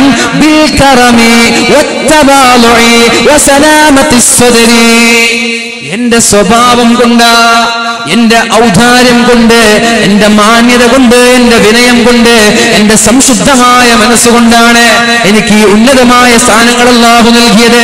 ഇരുപത്തിനാല് മണിക്കൂറും പള്ളിയകത്ത് നിന്നത് കൊണ്ടല്ല ഇരുപത്തിനാല് മണിക്കൂറും നിസ്കരിച്ചത് കൊണ്ടല്ല നല്ല സ്വഭാവം കൊണ്ടും ജനങ്ങളിലേക്ക് ഇറങ്ങി ജനങ്ങൾക്ക് സുത്യർഹമായ സേവനം കാഴ്ചവെച്ചത് കൊണ്ടുമാണ് അള്ളാഹു എനിക്ക് ഉത്തമമായ സ്ഥാനം നൽകിയത് എന്ന് മഹാനായ മുഹിയദ്ദീൻ ഷേഖ് റളിയല്ലാഹു നമ്മോട് പഠിപ്പിക്കുന്നുണ്ട്. നിസ്കാരത്തിന്റെ കൂടെ പൊതുപ്രവർത്തനങ്ങളിലേക്ക് ഇറങ്ങണം ചെറുപ്പക്കാരാ. അത് ചില ആളുകൾ ചെയ്തോട്ടെ. മാറി നിൽക്കണ്ട. സംഘടനാ പ്രവർത്തനം രാഷ്ട്രീയ പ്രവർത്തനങ്ങളൊക്കെ അത് പ്രവർത്തിക്കാൻ ഇവിടെ ചില ആളുകളുണ്ടല്ലോ എന്ന് പറഞ്ഞ് വീട്ടിൽ ചടഞ്ഞുകൂടി ഇരിക്കണ്ട. പ്രവർത്തിക്കേണ്ട സമയമാണ്. ദീനിന് വേണ്ടി അധ്വാനിക്കേണ്ട സമയമാണ്. യുവത്വം നഷ്ടപ്പെട്ടാൽ പിന്നെ ഒന്നിനും സമയം കിട്ടൂല. അള്ളാഹു നൽകി യൗവന സമയത്ത് അള്ളാഹു നൽകി യുവത്വ സമയത്ത് അള്ളാഹുവിന്റെ ദീനിന് നാടിന് സമുദായത്തിന് എന്തൊക്കെ നേട്ടമാണോ നമ്മൾക്ക് ചെയ്യാൻ പറ്റുന്നത് അതൊക്കെ ചെയ്യണം ചെറുപ്പക്കാരാ. അതുകൊണ്ട് ഉറക്കിൽ നിന്നുണരണേ സടകുടഞ്ഞെഴുന്നേൽക്കണേ സമുദായത്തിലേക്ക് ഇറങ്ങണേ സമൂഹത്തിലേക്ക് ഇറങ്ങണേ നാട്ടിലേക്ക് ഇറങ്ങണേ. നമ്മൾക്ക് നമ്മളുടെ നമ്മളുടെ സൗകര്യം വെച്ച് നമ്മുടെ സാഹചര്യം വെച്ച് ചെയ്യാൻ പറ്റുന്നതൊക്കെ സഹായങ്ങളായി സഹകരണങ്ങളായി പ്രവർത്തനങ്ങളായി ചെയ്യണം. തോഫീക്ക് തൗഫീക്ക് നൽകട്ടെ.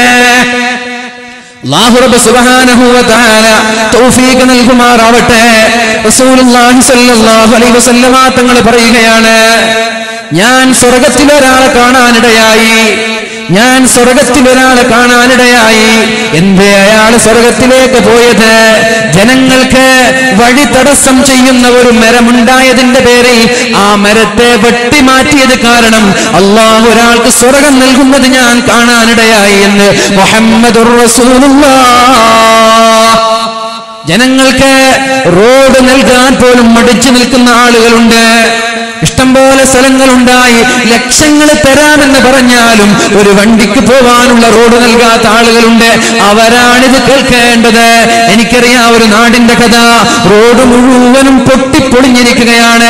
വാതിന് പോയാൽ പത്ത് മിനിറ്റ് സഞ്ചരിക്കേണ്ട സ്ഥലത്ത് ഒരു മണിക്കൂർ വരെ എടുക്കുന്ന ഒരു സ്ഥലമാണ്. നാട്ടുകാരെല്ലാം ഒരുമിച്ച് കൂടി എല്ലാവരും സമ്മതം നൽകി മനോഹരമായ റോഡ് ഉണ്ടാക്കി റോഡ് പകുതിയിലേക്ക് എത്തിയപ്പോ രണ്ട് വീട്ടുകാർ ഒരാളെ പുറത്ത് ഒരാളപ്പുറത്ത് ഒരാളിപ്പുറത്ത് രണ്ട് വീട്ടുകാർ സ്ഥലം കൊടുക്കുന്നില്ല. ഞങ്ങളുടെ ബൗണ്ടറി പൊളിക്കാൻ ഞങ്ങൾ അനുവദിക്കൂല. ഞങ്ങളുടെ ഈ കെട്ടുമതിന് ചുറ്റുമതിന് പൊളിക്കാൻ ഞങ്ങൾ അനുവദിക്കൂല. എന്ന് പറഞ്ഞ തടസ്സം നിന്നത് കാരണം ഇന്നും ആ പണി അവിടെ ബാക്കിയാണ്.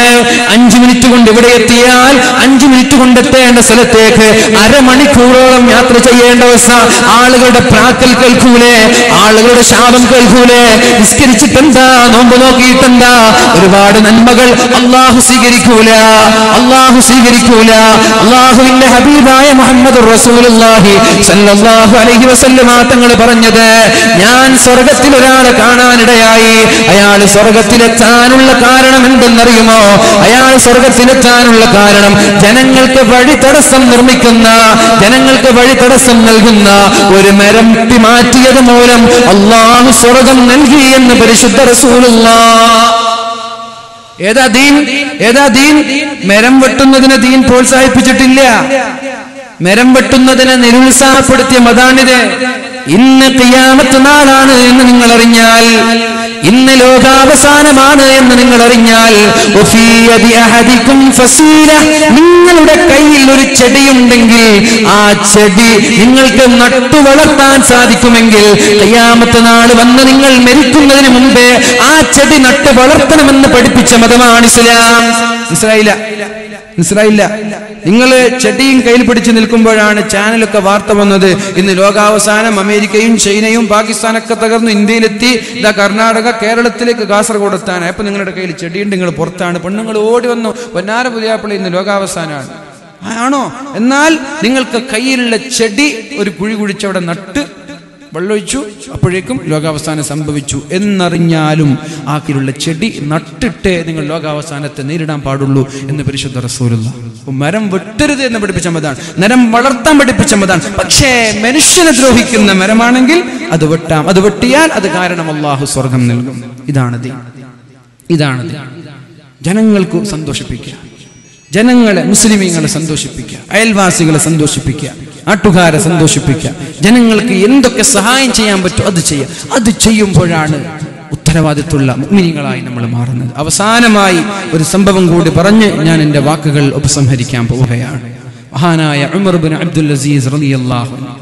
എല്ലാ രാഷ്ട്രീയ നേതാക്കളും പൊതുപ്രവർത്തകരും പഠിക്കേണ്ട പാഠം ഉൾക്കൊള്ളേണ്ട വലിയ ഒരു ജീവിതം വലിയൊരു പാഠം ഈ മഹാനുഭാവനിലുണ്ട്. പൊതുപ്രവർത്തകരൊക്കെ പഠിക്കേണ്ട ഒരു പ്രത്യേകമായ ഒരു വിഷയമാക്കി പഠിക്കേണ്ട ഒരു മേഖലയാണ് മഹാനായ ഉമർ ബിൻ അബ്ദുൽ അസീസ് അൻഹു. മഹാന്മാരായ ആലിമ്യങ്ങൾ പറയുന്നുണ്ട് ആകെ രണ്ടര വർഷം അദ്ദേഹം ഭരണത്തിൽ ഉണ്ടായിട്ടുള്ളൂ പക്ഷെ ഇരുപത്തഞ്ച് നൂറ്റാണ്ടിന്റെ പാഠം അദ്ദേഹം ലോകത്തിന് നൽകിയിട്ടാണ് ഇവിടെ പറഞ്ഞത് എന്ന് മഹാന്മാരായ ആലിമ്യങ്ങൾ പഠിപ്പിക്കുന്നുണ്ട്. ആ ഉമർ ബിൻ അബ്ദുൽ നസീസ് റളിയല്ലാഹു അൻഹു അധികാരം കയ്യിൽ കിട്ടിയപ്പോൾ ഭാര്യയെ വിളിച്ചിട്ട് ഭാര്യയോട് പറയാണ് ഭാര്യയെ വിളിച്ചിട്ട് ഭാര്യയോട് പറയാണ് ഞാൻ ത്യാഗത്തിന്റെ സുഹുദിന്റെ മേഖലയിലേക്ക് ഞാൻ കടക്കുകയാണ്. പഴയതുപോലെ സുഖിക്കാനും ആനന്ദിക്കാനും ഞാനില്ല. നിനക്ക് വേണമെങ്കിൽ നിന്നെ ഞാൻ ത്വരാക്ക് ചെല്ലിത്തരാം. നിന്നെ ത്വരാക്ക് ചെല്ലിത്തരാം. നീ എന്ത് വേണം? നീ വലിയ രാജാവിന്റെ മകളാണ്. നിന്റെ ഉപ്പ രാജാവാണ്. നിന്റെ ആങ്ങളമാർ ഭരണാധികാരികളാണ്. നാല് ആങ്ങളമാറും ഭരണാധികാരി. ഉപ്പ രാജാവ് ഇങ്ങനെ വലിയ പ്രൗഢമായ രാജകീയ പ്രൗഢിയോടെ വളർന്ന നിനക്ക് ഇനി എന്റെ കൂടെ ജീവിക്കാൻ പ്രയാസമായിരിക്കും. അതുകൊണ്ട് ഞാൻ നിന്നെ തൊലാക്ക് ചെല്ലിച്ചരാം നീ എന്ത് ചെയ്തോ? വലിയ മുതലാളിമാരെ കല്യാണം കഴിച്ച് സുഖത്തോടെ ജീവിച്ചോ? ഞാൻ ഇനി സുഹുദിന്റെ ത്യാഗത്തിന്റെ പരിത്യാഗത്തിന്റെ മേഖലയിലേക്ക് നീങ്ങുകയാണ്. എന്താ നിന്റെ ആഗ്രഹമെന്ന് ചോദിച്ചപ്പോ ഭാര്യ പറഞ്ഞു നിങ്ങൾ ആഹ്റമാണ് തെരഞ്ഞെടുക്കുന്നതെങ്കിൽ ഞാനും തെരഞ്ഞെടുക്കുന്നത് ആഹ്റമാണ്. എനിക്കും ആഹ്റം മതി. അധികാരം കയ്യിൽ കിട്ടിയപ്പോഴാണ് മഹാനായ ഉമർ ബിൻ അബ്ദുൽ അസീസ് റളിയല്ലാഹു സമ്പാദ്യങ്ങളെല്ലാം വലിച്ചെറിഞ്ഞ് സുഫിവിജനായി കരയാൻ തുടങ്ങിയത്.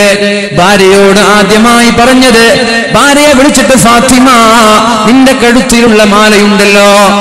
നിന്റെ കഴുത്തിലുള്ള മാലയുണ്ടല്ലോ. അത് നിനക്ക് നിന്റെ പിതാവ് തന്നതല്ലേ. രാജാവായ ഭരണാധികാരിയായ നിന്റെ പിതാവ് തന്നതല്ലേ. അത് ജനങ്ങൾക്ക് അവകാശപ്പെട്ട മുതലിൽ നിന്ന് എടുത്തതാണ്. നിന്റെ ഉപ്പയുടെ സമ്പാദ്യത്തിൽ നിന്നല്ല. ഉപ്പ രാജാവായിരിക്കെ പ്രജകളുടെ സമ്പാദ്യങ്ങളിൽ നിന്ന് അടിച്ചു മാറ്റി കോടിക്കണക്കിന് രൂപ വരുന്ന വലിയ ഒരു മാല നിനക്ക് നൽകി.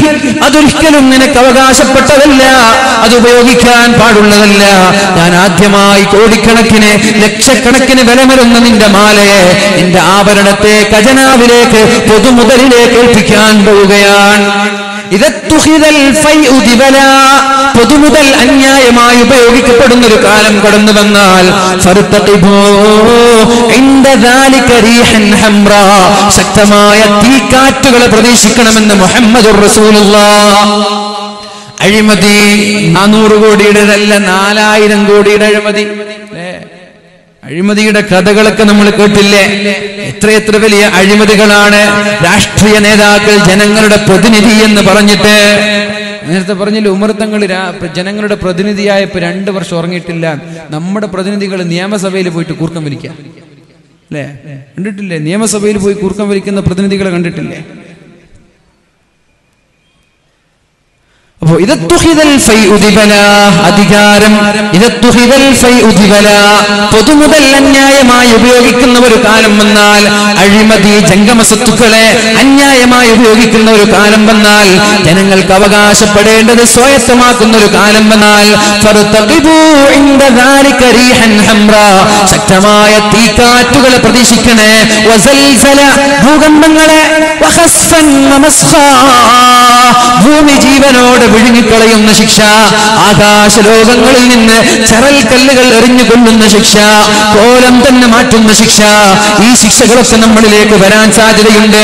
പുതുമുതൽ അന്യായമായി ഉപയോഗപ്പെടുത്തുന്ന കാലം വന്നാൽ ജംഗമ സ്വത്തുക്കൾ ജനങ്ങൾക്ക് അവകാശപ്പെടേണ്ടത് രാഷ്ട്രീയ നേതാക്കൾ പോക്കറ്റടിക്കുന്ന ഒരു കാലം കടന്നു വന്നാൽ മഹാനായ ഉമർ ബിൻ അബ്ദുൽ അസീസ് റളിയല്ലാഹു തന്റെ ഭാര്യയോട് പറയാണ് ഞാനിതാ നിന്റെ ഈ കോടിക്കണക്കിന് വിലമതിക്കുന്ന ഈ സ്വർണാഭരണത്തെ രത്നം നിറഞ്ഞ ഈ ആവരണത്തെ പൊതുമുതലിലേക്ക് ബൈത്തുൽമാലിലേക്ക് നൽകാൻ പോവുകയാണ്. എന്താ നിന്റെ അഭിപ്രായം? അങ്ങനെയാണെങ്കിൽ അങ്ങനെ ചെയ്തോളൂ എനിക്ക് കുഴപ്പമില്ല. ആ കോടിക്കണക്കിന് രൂപ വില വരുന്ന കല്യാണത്തിന് സമ്മാനമായി ഉപ്പതെന്ന ആ ഒരു ആദ്യത്തെ ആ ഒരു മാല ആഭരണം പൊതുമുതലിൽ കൊണ്ടുപോയി വെച്ചു. ഞങ്ങളുടെ ഭാര്യമാരാണെങ്കിൽ എന്താ പറയാ? എന്താ പറയാ? ആ സൂഫിയൊക്കെ ശരി തന്നെ പൊന്നു തൊട്ടിട്ട് കളിക്കണ്ട. സ്വർണം തൊട്ടിട്ട് കളിക്കണ്ട. പെണ്ണുങ്ങൾക്ക് പിന്നെ എങ്ങനെയാണല്ലോ? സ്വർണം എന്ന് പറഞ്ഞാൽ നൂറ് പവനുണ്ടെങ്കിൽ ഇരുന്നൂറ് പവനുണ്ടെങ്കിലും ഞാനൊരു മോതിരം തരട്ടെ? എന്നാ തന്നോളൂ. ഇരുന്നൂറ് പവനോടെ തൂങ്ങുന്നുണ്ട്. എന്നാലും ഒരു മോതിരം കിട്ടിയാൽ ഒരു കുഴപ്പമില്ല. അത് ഒരു ഗ്രാം ആയാലും ശരി ഒരു പവൻ വേണമെന്നില്ല. എത്ര കിട്ടിയാലും തൃപ്തി ഇത് എന്താ ഒരു സംതൃപ്തി വരാത്ത പെണ്ണുങ്ങൾ. കോടിക്കണക്കിന് വില മതിക്കുന്ന ആവരണം പൊന്നാര ഭർത്താവങ്ങൾ കൊണ്ടുപോയി കൊടുത്തോളൂ കൊടുത്തു. രണ്ടര വർഷത്തിന്റെ ജീവിതം കഴിഞ്ഞ് ഭാര്യക്കോ മക്കൾക്കോ അല്പം പോലും ബാക്കി വെക്കാതെ മഹാനായ ഉമർ ബിൻ മഹാനായ ഉമർ ബിൻ അബ്ദുൽ അസീസ് റളിയല്ലാഹു അൻഹു ലോകത്തോട് ഇവിടെ പറയാണ്. അപ്പോഴാണ് ചില ആളുകൾ അദ്ദേഹത്തോട് ചോദിച്ചത് മക്കൾക്ക് വേണ്ടി വല്ലതും ബാക്കി വെക്കണ്ടേ? മക്കൾക്ക് വേണ്ടി വല്ലതും ബാക്കി വെക്കണ്ടേ? നിങ്ങൾ വസീയത്ത് ചെയ്താൽ ഞങ്ങൾ ബൈത്തുൽ മാലിൽ നിന്ന് മക്കൾക്ക് വേണ്ടി നൽകാമെന്ന് പറഞ്ഞു? അപ്പോഴാണ് ധീരമായൊരു പ്രഖ്യാപനം മഹാനായ ഉമർ ബിൻ അബ്ദുൽ അസീസ് റളിയല്ലാഹു അൻഹു പ്രഖ്യാപിച്ചത്. അധികാരത്തിന്റെ സോപാനങ്ങളിൽ ഇരിക്കുന്ന ആളുകൾ ഉന്നതമായ സാമ്രാജ്യങ്ങൾ ബിസിനസ് സാമ്രാജ്യങ്ങൾ പെടുത്തുയർത്തുന്ന ആളുകളോട് പറയാനുള്ളത് മക്കൾക്ക് വേണ്ടി ബാക്കി വെക്കുമ്പോൾ ഈ മഹാനായ ഉമർ ബിൻ അബ്ദുൽ നസീസ് റളിയല്ലാഹു അള്ളാഹുവിന്റെ പ്രസ്താവന ഓർക്കണം. ഉമർ ബിൻ അബ്ദുൽ അസീസ് അള്ളാഹു എന്ന് പറഞ്ഞു സ്വാലിഹീങ്ങളായ ആളുകളെ അള്ളാഹു ഏറ്റെടുക്കുമെന്ന് അള്ളാഹു പറഞ്ഞിട്ടില്ലേ? സാലിഹീങ്ങളായ ആളുകളെ അള്ളാഹു ഏറ്റെടുക്കുമെന്ന് അള്ളാഹു പറഞ്ഞിട്ടില്ലേ? എന്റെ മക്കൾ സാലിഹീങ്ങളാണെങ്കിൽ അവർക്ക് എന്തിനാണ് ഞാൻ ഇവിടെ ക്യാഷ് ബാക്കി വെക്കുന്നത്? അവർക്ക് എന്തിനാണ് ഞാൻ ഇവിടെ സമ്പാദ്യങ്ങൾ ബാക്കി വെക്കുന്നത്? സാലിഹീങ്ങളാണെങ്കിൽ അള്ളാഹു അവരെ ഏറ്റെടുക്കുമെന്നല്ലേ പറഞ്ഞത്. ഇനി അവർ തെമ്മാടികളാണെങ്കിൽ ഇനി അവർ തോന്നിവാസികളും താന്തോന്നികളുമാണെങ്കിൽ എന്തിനാണ് എന്റെ സമ്പാദ്യം തിന്നിട്ട് അത് കാരണം കബറിൽ ഞാൻ ശിക്ഷ അനുഭവിക്കുന്നത്? മനസ്സിലായില്ല? മനസ്സിലായില്ല? മക്കൾ ഒന്നുകിൽ സ്വാലിഹാണ് അല്ലെങ്കിൽ തെമ്മാടിയാണ് ഫാസിദാണ്. രണ്ടിൽ ഒന്ന് സ്വാലിഹാണ് അല്ലെങ്കിൽ ഫാസിദ്. തെമ്മാടിയാണ് നല്ല ആളാണ്. നല്ല ആളാണെങ്കിൽ അവരെ അള്ളാഹു ഏറ്റെടുക്കുമെന്ന് വാക്ക് നൽകിയിരിക്കുകയാണ്. ഇനി ചെമ്മാടിയാണെങ്കിൽ നല്ല ആളുകൾ അള്ളാഹു ഏറ്റെടുക്കുമെന്ന് റബ്ബ് പറയുമ്പോ പിന്നെ ഞാൻ എന്തിനാണ് അവർക്ക് ഇവിടെ ബാക്കി വെക്കുന്നത്? പഠിച്ചോൻ ഏറ്റെടുക്കൂലേ? അള്ളാഹു ഏറ്റെടുക്കൂലേ? അതുകൊണ്ട് ഞാൻ ഒന്നും ബാക്കി വെക്കുന്നില്ല. സ്വാലിഹ്യങ്ങളാണെങ്കിൽ അള്ളാഹു ഏറ്റെടുത്തോളും. തെമ്മാടികളാണെങ്കിലോ ഞാൻ എന്റെ സമ്പാദ്യത്തിൽ നിന്ന് തിന്ന് കള്ളു കുടിച്ച് വ്യഭിചരിച്ച് തോന്നിവാസം ചെയ്യുമ്പോൾ ഖബറിൽ കിടക്കുമ്പോൾ ഒരു സെക്കൻഡ് എനിക്ക് സ്വസ്ഥത കിട്ടോ? നമ്മൾ മക്കൾക്ക് വേണ്ടി കോടിക്കണക്കിന് സ്വത്ത് ഇവിടെ ബാക്കി വെച്ചിട്ട് മക്കളെ തട്ട് കള്ളു കുടിക്കുക പലിശ തിന്ന വ്യഭിചരിക്കുക ഹറാമിലേക്ക് വലിച്ചെറിയാൻ നമ്മൾ ഖബറിൽ കിടക്കുമ്പോൾ ദൈനംദിനം അതിന്റെ ശിക്ഷ നമ്മൾ ഖബറിൽ അനുഭവിച്ചുകൊണ്ടേയിരിക്കും. ഒന്നുകിൽ സ്വാലിഹാക്ക അല്ലെങ്കിൽ തമ്മാടികളാണെങ്കിൽ അഞ്ച് പൈസ പോലും ബാക്കിയാക്കാതെ മരിച്ചു പോവുക അതേ നമ്മളുടെ മുമ്പിലുള്ള ലക്ഷ്യം. ഒന്നുകിൽ മക്കളെ സ്വാലിഹ്യങ്ങളാക്കുക ചെമ്മാടുകളാണെന്ന് തോന്നിയാൽ അഞ്ച് പൈസ പോലും ബാക്കി വെക്കാതെ മരിച്ചു പോകുന്നതാണ് നല്ലത്. നമ്മുടെ സമ്പാദ്യം ഒരു ഹറാമിന് വേണ്ടവർ ഉപയോഗിച്ചാൽ ഖബറിൽ നമ്മൾക്ക് സ്വസ്ഥത കിട്ടൂല. ഉറപ്പാണ്. അതിനു മുമ്പ് മക്കളെ സ്വാലിഹ്യങ്ങളാകണം അള്ളാഹു തോഫിക്ക് ചെയ്യട്ടെ. അള്ളാഹു യതവല്ല സ്വാലിഹീൻ മഹാനായ ഉമർ ബിൻ അബ്ദുൽ അസീസ് റളിയല്ലാഹു അൻഹു ലോകത്തോട് ഇവിടെ പറഞ്ഞു പോയി. അവ ബൈത്തുൽ മാൽ സൂക്ഷിക്കുന്ന ഖജനാവുകാരൻ ഭാര്യയുടെ അടുത്തേക്ക് വന്നിട്ട് പറഞ്ഞു നിങ്ങളുടെ ആ പഴയ ആഭരണം ഉണ്ടല്ലോ അത് ഞാൻ ബൈത്തുൽ മാലിലേക്ക് വെച്ചിട്ടില്ല ഞാൻ മാറ്റി വെച്ചിരിക്കുകയാണ്. നിങ്ങൾക്ക് ആവശ്യം വരുമെന്ന് വിചാരിച്ച് അത് നിങ്ങൾ എടുത്തോളൂ. ഭർത്താവ് മരിച്ചില്ലേ? അത് നിങ്ങൾ എടുത്തോളൂ. അപ്പോഴാണ് ആ ഭാര്യ പറഞ്ഞത് ഫാത്തിമ പറഞ്ഞത് ഞാൻ അദ്ദേഹം ജീവിച്ചിരിക്കുന്ന കാലത്ത് ഞാൻ അയാൾ അദ്ദേഹം പറഞ്ഞതനുസരിച്ചു. وكيف أعصيه ميتا ജീവിച്ചിരിക്കുമ്പോൾ എന്റെ ഭർത്താവിനെ ഞാൻ അനുസരിക്കുക ഭർത്താവ് മരിച്ചാൽ ഭർത്താവിനെ ധിക്കരിക്കുക അങ്ങനെ ഒരു മോശപ്പെട്ട ഭാര്യയായി മാറാൻ ഞാൻ ആഗ്രഹിക്കുന്നില്ല ഭർത്താവ് നാട്ടിലുണ്ടാകുമ്പോൾ നല്ല പെണ്ണ് ഭർത്താവില്ലെങ്കിൽ മോശപ്പെട്ട പെണ്ണ് ഭർത്താവ് ഗൾഫിലുണ്ടാകുമ്പോൾ പിന്നെ തോന്നിവാസം ഭർത്താവ് നാട്ടിലെത്തിയാൽ പിന്നെ സ്വാലിഹത്തായ പെണ്ണ് ഇങ്ങനെ ഭർത്താവിനെ ധിക്കരിച്ച് തോന്നിവാസം ചെയ്യുന്ന പെണ്ണല്ല ഞാൻ ആ സമ്പാദ്യം എനിക്ക് വേണ്ട എന്ന് പറഞ്ഞ് നിരസിച്ചു മഹതിയായ ഫാത്തിമ ബീവി. മഹതിയായ ഫാത്തിമ ബീവി മഹാനായ ഉമർ അബ്ദുൽ അസീസ് റളിയല്ലാഹു അൻഹുവിൽ നിന്ന് ഒരുപാട് പഠിക്കാനുണ്ട് നമ്മൾക്ക്. ആരാണ് ഉമർ ബിൻ അബ്ദുൽ അസീസ്? മഹാനായ ഉമർ തങ്ങൾ രാത്രി ഇങ്ങനെ റോന്ത് ചുറ്റുമ്പോ ഒരു വീടിൽ നിന്ന് സംഭാഷണം കേട്ടത് നമ്മൾ ഓർമ്മയുണ്ടല്ലോ. ഉമർ തങ്ങൾ ഇങ്ങനെ രാത്രി നടക്കാൻ നടക്കുന്ന സമയത്ത് ഒരു വീട്ടിൽ വെളിച്ചം കണ്ട് അങ്ങോട്ട് പോയി നോക്കുമ്പോ ഒരു ഉമ്മയും മകളും സംസാരിക്കാൻ. മോളെ പാലിൽ വെള്ളം ചേർക്കണം മോളെ. ഉമ്മ എന്താ നിങ്ങൾ പറയുന്നത്? പാലിൽ വെള്ളം ചേർക്കാനോ? അതേ പാലിൽ വെള്ളം ചേർക്കണം നമ്മൾക്ക് വിൽക്കാനായില്ലേ നേരം വെളുക്കാനായില്ലേ? മകൾ പറഞ്ഞു അമീറുൽ ഉമർ തങ്ങൾ പറഞ്ഞിട്ടില്ലേ പാലിൽ വെള്ളം ചേർക്കാൻ പാടില്ലെന്ന് അന്യായമായ പ്രവർത്തനങ്ങൾ ചെയ്യരുതെന്ന്. അതിനെ അമീറുൽ മുഅ്മിനീൻ എവിടെയാണെന്ന് മദീനയിലല്ലേ? പിന്നെ എന്തേ ചെയ്താൽ? അപ്പോഴാണ് ആ പെണ്ണ് പറഞ്ഞത് ഉമ്മ അമീറുൽ മുഅ്മിനീൻ മദീനയിലാണെങ്കിലും അള്ളാഹു നമ്മെ കാണുന്നുണ്ടല്ലോ. അള്ളാഹു അള്ളാഹു അള്ളാഹു ഷാഹിദി അള്ളാഹു മഈ. അള്ളാഹു എന്നെ കാണുന്നുണ്ടല്ലോ അള്ളാഹു വീക്ഷിക്കുന്നുണ്ടല്ലോ. മഹാനായ ഉമൃത്തങ്ങൾ ആ ഒരു വീട് ഇതൊക്കെ ശ്രദ്ധിക്കുന്നുണ്ട്. ആ ഒരു വീട് മാർക്ക് ചെയ്തിട്ട് വീട്ടിലേക്ക് പോയി. സുബഹിയുടെ ഉടനെ മക്കളെ വിളിച്ചിട്ട് മക്കളോട് പറഞ്ഞു നല്ലൊരു ദീനിയായ സ്വാലിഹത്തായ പെണ്ണുണ്ട്. കല്യാണം കഴിക്കാൻ ആഗ്രഹമുള്ള ആളാരാ? ആരാ കല്യാണം കഴിക്കാൻ ആഗ്രഹമുള്ള ആൾ? ഞാൻ വയസ്സായി. എനിക്കിന് കല്യാണം കഴിക്കാൻ കഴിയില്ല. കല്യാണം കഴിക്കാനുള്ള ആഗ്രഹവുമില്ല. സ്വാലത്തായ ദീനീബോധമുള്ള ഒരു പെണ്ണുണ്ട്. അതാണ് പെണ്ണിന്റെ ക്വാളിറ്റി. ഉപ്പയുടെ സമ്പാദ്യമല്ല. പെണ്ണ് ഡോക്ടറാണോ എഞ്ചിനീയർ ആണോ എന്നല്ല. ആയിക്കോട്ടെ ആണ്ട എന്നുമല്ല. പെണ്ണ് ഡോക്ടറാവട്ടെ എഞ്ചിനീയർ ആവട്ടെ പക്ഷെ അള്ളാഹുവിനെ പേടിയുള്ള ഡോക്ടറാവണം. അള്ളാഹുവിനെ പേടിയുള്ള സ്വാലിഹത്തായ എഞ്ചിനീയർ ആവണം അള്ളാഹു തൗഫീഖ് ചെയ്യട്ടെ. പെണ്ണിന്റെ ക്വാളിറ്റി എന്ന് പറയുന്നത് സ്വാലിഹത്തായ പെണ്ണാവണമെന്നാണ്. നിങ്ങൾക്ക് എന്ന് പറഞ്ഞു ഇപ്പാ ഞാൻ കല്യാണം കഴിച്ചോളാ. ആ പെണ്ണിനെ കല്യാണം കഴിച്ചോ? അതിൽ നിന്നൊരു മകളുണ്ടായി. അതിൽ നിന്നുണ്ടായ മകനാണ് മഹാനായ അബ്ദുൽ രണ്ടര വർഷക്കാലം രാത്രി പക്ഷികളെ പോലെ കരയുമായിരുന്നു വിറക്കുമായിരുന്നു ആയ ചോദിയാൽ വിറക്കുമായിരുന്നു പേടിച്ച് കരയുമായിരുന്നു. എന്നിട്ട് അദ്ദേഹത്തിന്റെ ഭാര്യ പറയുന്നുണ്ട് പല രാത്രികളിലും ഞങ്ങൾ പേടിച്ചു പോയി ഈ ഭർത്താവ് രാവിലേക്ക് മരിച്ചു പോകുമോ എന്ന് പല രാത്രികളിൽ ഞങ്ങൾ പേടിച്ചു പോയിട്ടുണ്ട്. ഇവരെയാണ് നമ്മളെ പോലെയുള്ള ആളുകളൊക്കെ പഠിക്കേണ്ടത് ഇവരിൽ നിന്ന്. ഇവരുടെ ചരിത്രം പഠിക്കുമ്പോൾ ഇവരുടെ വാൽ കേൾക്കുമ്പോൾ പൊതുപ്രവർത്തകർ അന്യായമായി പൊതുമുതൽ ഉപയോഗിക്കാതെ എന്തിനേറെ എല്ലാ ദിവസവും കുളിക്കാൻ ചൂടുവെള്ളം കൊണ്ടുവരുമായിരുന്നു. ഒരു ദിവസം ചൂടുവെള്ളം കൊണ്ടുവരുന്ന സേവകനോട് ചോദിച്ചു ഇത് എവിടെ നിന്നാണ് ചൂടാക്കുന്നത്? പൊതുജനങ്ങൾക്ക് ഭക്ഷണം നൽകുന്ന അടുപ്പത്ത് വെച്ചാണോ? അതാണോ വിറക് കൊള്ളി? അതെ. എത്ര ദിവസമായി ഇത് കൊണ്ടുവരാൻ തുടങ്ങി? എണ്ണി നോക്കി. ഒരു വെള്ളം ചൂടാവാൻ എത്ര വിറക് വേണമെന്ന് കാൽക്കുലേറ്റ് ചെയ്തു. എന്നിട്ട് അത്രയും ദിവസത്തെ വിറക് ബൈത്തുൽമാലിൽ വെച്ചു. പൊതുജനങ്ങൾക്ക് ഉപയോഗിക്കുന്ന അടുപ്പത്ത് വെച്ച് ഞാൻ കുളിക്കുന്ന വെള്ളം ചൂടാക്കരുത്. ഒരു ദിവസം അദ്ദേഹം ശക്തമായ ചൂടാണ്. നമ്മുടെയൊക്കെ സൗകര്യം നമ്മൾ ആലോചിക്കണം നിങ്ങളെ സ്വിച്ചിട്ട തിരിയുന്ന ഫാനാണ്. ചൂട് ആ മരുഭൂമിയിൽ വീട്ടിൽ കടന്നുറങ്ങുമ്പോൾ ചൂട് സഹിക്കാൻ കഴിയാതെ അടിമ അടിമ സ്ത്രീയെ വിളിച്ചിട്ടൊന്ന് വീശാൻ പറഞ്ഞു. അദ്ദേഹം ഇങ്ങനെ വീശി. നിങ്ങൾ ചിന്തിച്ചു നോക്കി. നമ്മൾക്കൊരു സ്വസ്ഥതയോടെ കടന്നുറങ്ങാൻ പറ്റൂലല്ലോ. കല്യാണമൊക്കെ കഴിഞ്ഞു. നിങ്ങൾ ആലോചിച്ച് നോക്കണം. കല്യാണം കഴിഞ്ഞു. ആദ്യ രാത്രിയാണ് നല്ല ചൂടുള്ള സമയമാണ് ഫാനില്ല എ സി ഇല്ല ഒരാൾ വന്നിട്ട് വീശി തരാന്ന് പറഞ്ഞാൽ പറ്റുമോ ആദ്യ രാത്രികളിലൊക്കെ? ഒറ്റയ്ക്കാണെങ്കിലൊക്കെ. ഇതൊക്കെ സഹിച്ചിട്ട് അവരൊക്കെ ജീവിച്ചത്. എന്നിട്ട് അടിമസ്ത്രീ ഇങ്ങനെ വീശിക്കൊടുത്തു. അദ്ദേഹം അറിയാതെ ഉറങ്ങി ഉറക്കത്തിൽ നിന്ന് ഉണർന്നു നോക്കുമ്പോ അടിമസ്ത്രീ താഴെ കിടന്നുറങ്ങുന്നുണ്ട് വിയർത്ത് കുളിക്കാൻ ആ വിഷറി എടുത്തിട്ട് അടിമസ്ത്രീക്ക് ഇങ്ങനെ വീശിക്കൊടുത്തു. രാജാവാണ്. രാജാവാണ് ഇദ്ദേഹം. ഒരു ഉത്തരവാദപ്പെട്ട ഭരണാധികാരിയാണ്. അടിമസ്ത്രീക്ക് ഇങ്ങനെ വിഷറി കൊടുത്തു കാറ്റ് തണുത്ത കാറ്റ് വരാൻ തുടങ്ങിയപ്പോ അടിമസ്ത്രീ കണ്ണു തുറന്നു. പേടിച്ചേ നിങ്ങൾ എന്താ ചെയ്യുന്നത്? ഏയ് ഒന്നുമില്ല. ഞാൻ വിയർത്തപ്പോ നീ എനിക്ക് വിശുത്തുന്നു നീ വിയർത്തപ്പോ ഞാൻ എനിക്ക് വിശുത്തുന്നു ആലോചിക്കണം.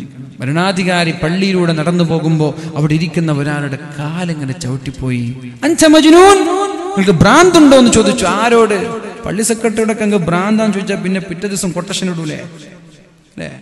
രാജാവാണ് പള്ളി സെക്രട്ടറി അല്ല. ഇരുപതോളം രാജ്യങ്ങളെ ഭരിക്കുന്ന രാജാവാണ്. നിങ്ങൾക്ക് ഭ്രാന്തുണ്ടോ? എന്ന് ചോദിച്ചു. ഇല്ല എനിക്ക് ഭ്രാന്തൊന്നുമില്ല. അപ്പൊ കുറച്ച് ആളുകൾ വന്നിട്ട് പോയി നിങ്ങൾ നിങ്ങളൊന്ന് ഒരു വാക്ക് പറഞ്ഞാൽ അയാളെ ഞങ്ങൾ ശരിയായിക്കോളാം. എന്തപ്പോ അയാളെ ശരിയാക്കാൻ? എന്താ ഇവിടെ ശരിയാക്കാൻ മാത്രം? എന്താ ഇവിടെ പ്രശ്നം? അയാൾ എന്നോട് ചോദിച്ചു നിങ്ങൾക്ക് ഭ്രാന്തുണ്ടോ? ഞാൻ പറഞ്ഞു ഇല്ല. തീർന്നില്ലേ? പ്രശ്നം കഴിഞ്ഞില്ലേ? അയാൾ എന്നോട് ചോദിച്ചു നിങ്ങൾക്ക് ഭ്രാന്തുണ്ടോ? ഞാൻ പറഞ്ഞു ഇല്ല. പ്രശ്നം കഴിഞ്ഞു. പിന്നെ എന്നാ അയാളോട് ദേഷ്യപ്പെടുന്നത്? മഹാനായ അള്ളാഹുവിന്റെ ഹബീബ് സല്ലല്ലാഹു അലൈഹി വസല്ലമ തങ്ങളും നബി തങ്ങളെ നിന്യൻ എന്നൊക്കെ പറഞ്ഞിട്ട് മക്കാ പരിഹസിക്കുമായിരുന്നു പൊതുപ്രവർത്തകർ. മാങ്ങയുള്ള മൂച്ചിയിലേക്ക് ആളുകൾ കല്ലെറിയുള്ളൂ. മാങ്ങയുള്ള മരത്തിലേക്ക് ആളുകൾ കല്ലെറിയുള്ളൂ. പൊതുപ്രവർത്തകർക്ക് പല ആക്ഷേപങ്ങൾ കേൾക്കും. പല വെല്ലുവിളികൾ ഉണ്ടാവും. അത് കേൾക്കുമ്പോൾ പടച്ചോനെ ഇനി ഞാനില്ല എന്ന് പറഞ്ഞിട്ട് വീട്ടിൽ പോയിട്ട് ഉറങ്ങണ്ട. അതൊക്കെ സ്വാഭാവികമാണ് അതൊക്കെ സ്വാഭാവികമാണ്. പൊതുപ്രവർത്തകർ പലതും കേൾക്കും. ബ്ലാക്ക് മെയിൽ ചെയ്യും ചോദ്യം ചെയ്യും ഇൻസൾട്ട് ചെയ്യും. ഇതൊക്കെ ഉണ്ടാകുമെന്ന് പ്രതീക്ഷിച്ചിട്ടാണ് ഇറങ്ങേണ്ടത്. അല്ലാതെ തരയടങ്ങിയിട്ട് മീൻ പിടിക്കാൻ പോവാന്ന് വിചാരിച്ചാൽ തരയടങ്ങലുണ്ടാവില്ല മീന്റെ കറി കൂട്ടലുണ്ട്. തൽക്കാലം ബീഫിലൊക്കെ അഡ്ജസ്റ്റ് ചെയ്യേണ്ടി വരും. മീൻ കിട്ടലുണ്ടാവില്ല തരയടങ്ങോ കടൽ? കടലിൽ തിരയടങ്ങോ? അത് ഉണ്ടാവില്ല അത് സ്വാഭാവികമാണ്. നബിത്തങ്ങൾ പുറത്തിറങ്ങിയാൽ മുതമ്മം മജ്നൂൻ ഭ്രാന്തൻ കള്ളൻ മജീഷ്യൻ അതേപോലെ നിന്നൻ എന്നൊക്കെ പറഞ്ഞ് പരിഹസിക്കും നബിങ്ങൾ ഇതൊക്കെ കേട്ടിട്ടാണ് ആയിഷാബിയുടെ അടുത്ത് പോകുന്നത് ഭാര്യമാരുടെ അടുത്ത് പോകുന്നത്. ഇതൊക്കെ കേട്ടിട്ട് വിഷമത്തോടെ പോയി വീട്ടിൽ ഇങ്ങനെ ദുഃഖിച്ച് കിന്നനായിരുന്നതാണോ? അല്ല. വീട്ടിലെത്തിയിട്ട് ഭാര്യമാരോട് പറയും നിങ്ങൾക്ക് കാണുന്നില്ലേ? ഇന്നല്ലാഹ യസ്രിഫു സബ്ബ ഖുറൈശ് കുറേശികൾ എന്നെ ചീത്ത പറയുന്നത് അള്ളാഹു മറ്റൊരാളിലേക്ക് തട്ടിമാറ്റുന്നത് നിങ്ങൾ കാണുന്നില്ലേ? ഭാര്യമാർ ചോദിച്ചു അതെന്ത്? അള്ളാഹുവിന്റെ ഹബീബ് പറഞ്ഞു അവർ അവർ പരിഹസിക്കുന്നത് മുദമ്മമിനെയാണ് വഅന മുഹമ്മദു എന്റെ പേര് മുഹമ്മദ് എന്നാണ്. മുദമ്മമൻ ആബൈന ودينه قالينا وأمره عاصينا മുദമ്മമേ നിന്നെ നിന്റെ മതത്തെ ഞങ്ങൾ സ്വീകരിക്കൂല നിന്റെ കൽപ്പനകളെ ഞങ്ങൾ ധിക്കരിക്കുകയാണെന്ന് പറഞ്ഞ് മുദമ്മം എന്ന് വിളിച്ച് പരിഹസിച്ചപ്പോഴാണ് അള്ളാഹുവിന്റെ ഹബീബ് പറയുന്നത് എത്ര മനോഹരമായിട്ടാണ് അള്ളാഹുവിന്റെ ഹബീബിനെ ഡൈവേർട്ട് ചെയ്യുന്നത് അവര് പരിഹസിക്കുന്നതിന് അള്ളാഹു മറ്റൊരാളിലേക്ക് തിരിച്ചുവിടുന്നത് കാണുന്നില്ലേ യസുബ്ബൂന മുദമ്മമൻ വഅന മുഹമ്മദു അവര് പരിഹസിക്കുന്നത് മുദമ്മമിനെയാണ് എന്റെ പേര് മുഹമ്മദിനെയാണ്. അള്ളാഹു എന്നെ രക്ഷപ്പെടുത്തുന്നത് കാണുന്നില്ലേ? ഇങ്ങനെയുള്ള പരിഹാസങ്ങളെ പോസിറ്റീവായ രീതിയിൽ കണ്ടുകൊണ്ട് സമുദായത്തിലേക്ക് ഇറങ്ങി പുതുമുതൽ അപായപ്പെടുത്താതെ ജനങ്ങൾക്ക് മാക്സിമം നന്മ ചെയ്യാൻ വേണ്ടി എന്തൊക്കെ നന്മയാണോ ചെയ്യാൻ കഴിയുന്നത് അതൊക്കെ ചെയ്തു കൊടുത്തുകൊണ്ട് നിസ്കാരങ്ങൾ നഷ്ടപ്പെടുത്താതെ ടിപ്പു സുൽത്താനെയും സലാഹുദ്ദീൻ അയ്യൂബിയെയും മഹാനായ ഉമർ ബിൻ അബ്ദുൽ അസീസ് റളിയല്ലാഹു അൻഹുവിനെയും മാതൃകയാക്കി ഇൻഷാ ഇനിയുള്ള ദിവസങ്ങൾ ചെലവഴിക്കണമെന്ന് മാത്രം പറഞ്ഞുകൊണ്ട് ഞാൻ എന്റെ വാക്കുകൾ ഉപസംഹരിക്കുന്നു. അള്ളാഹു നമ്മൾ പറഞ്ഞതും കേട്ടതും സ്വീകരിക്കട്ടെ.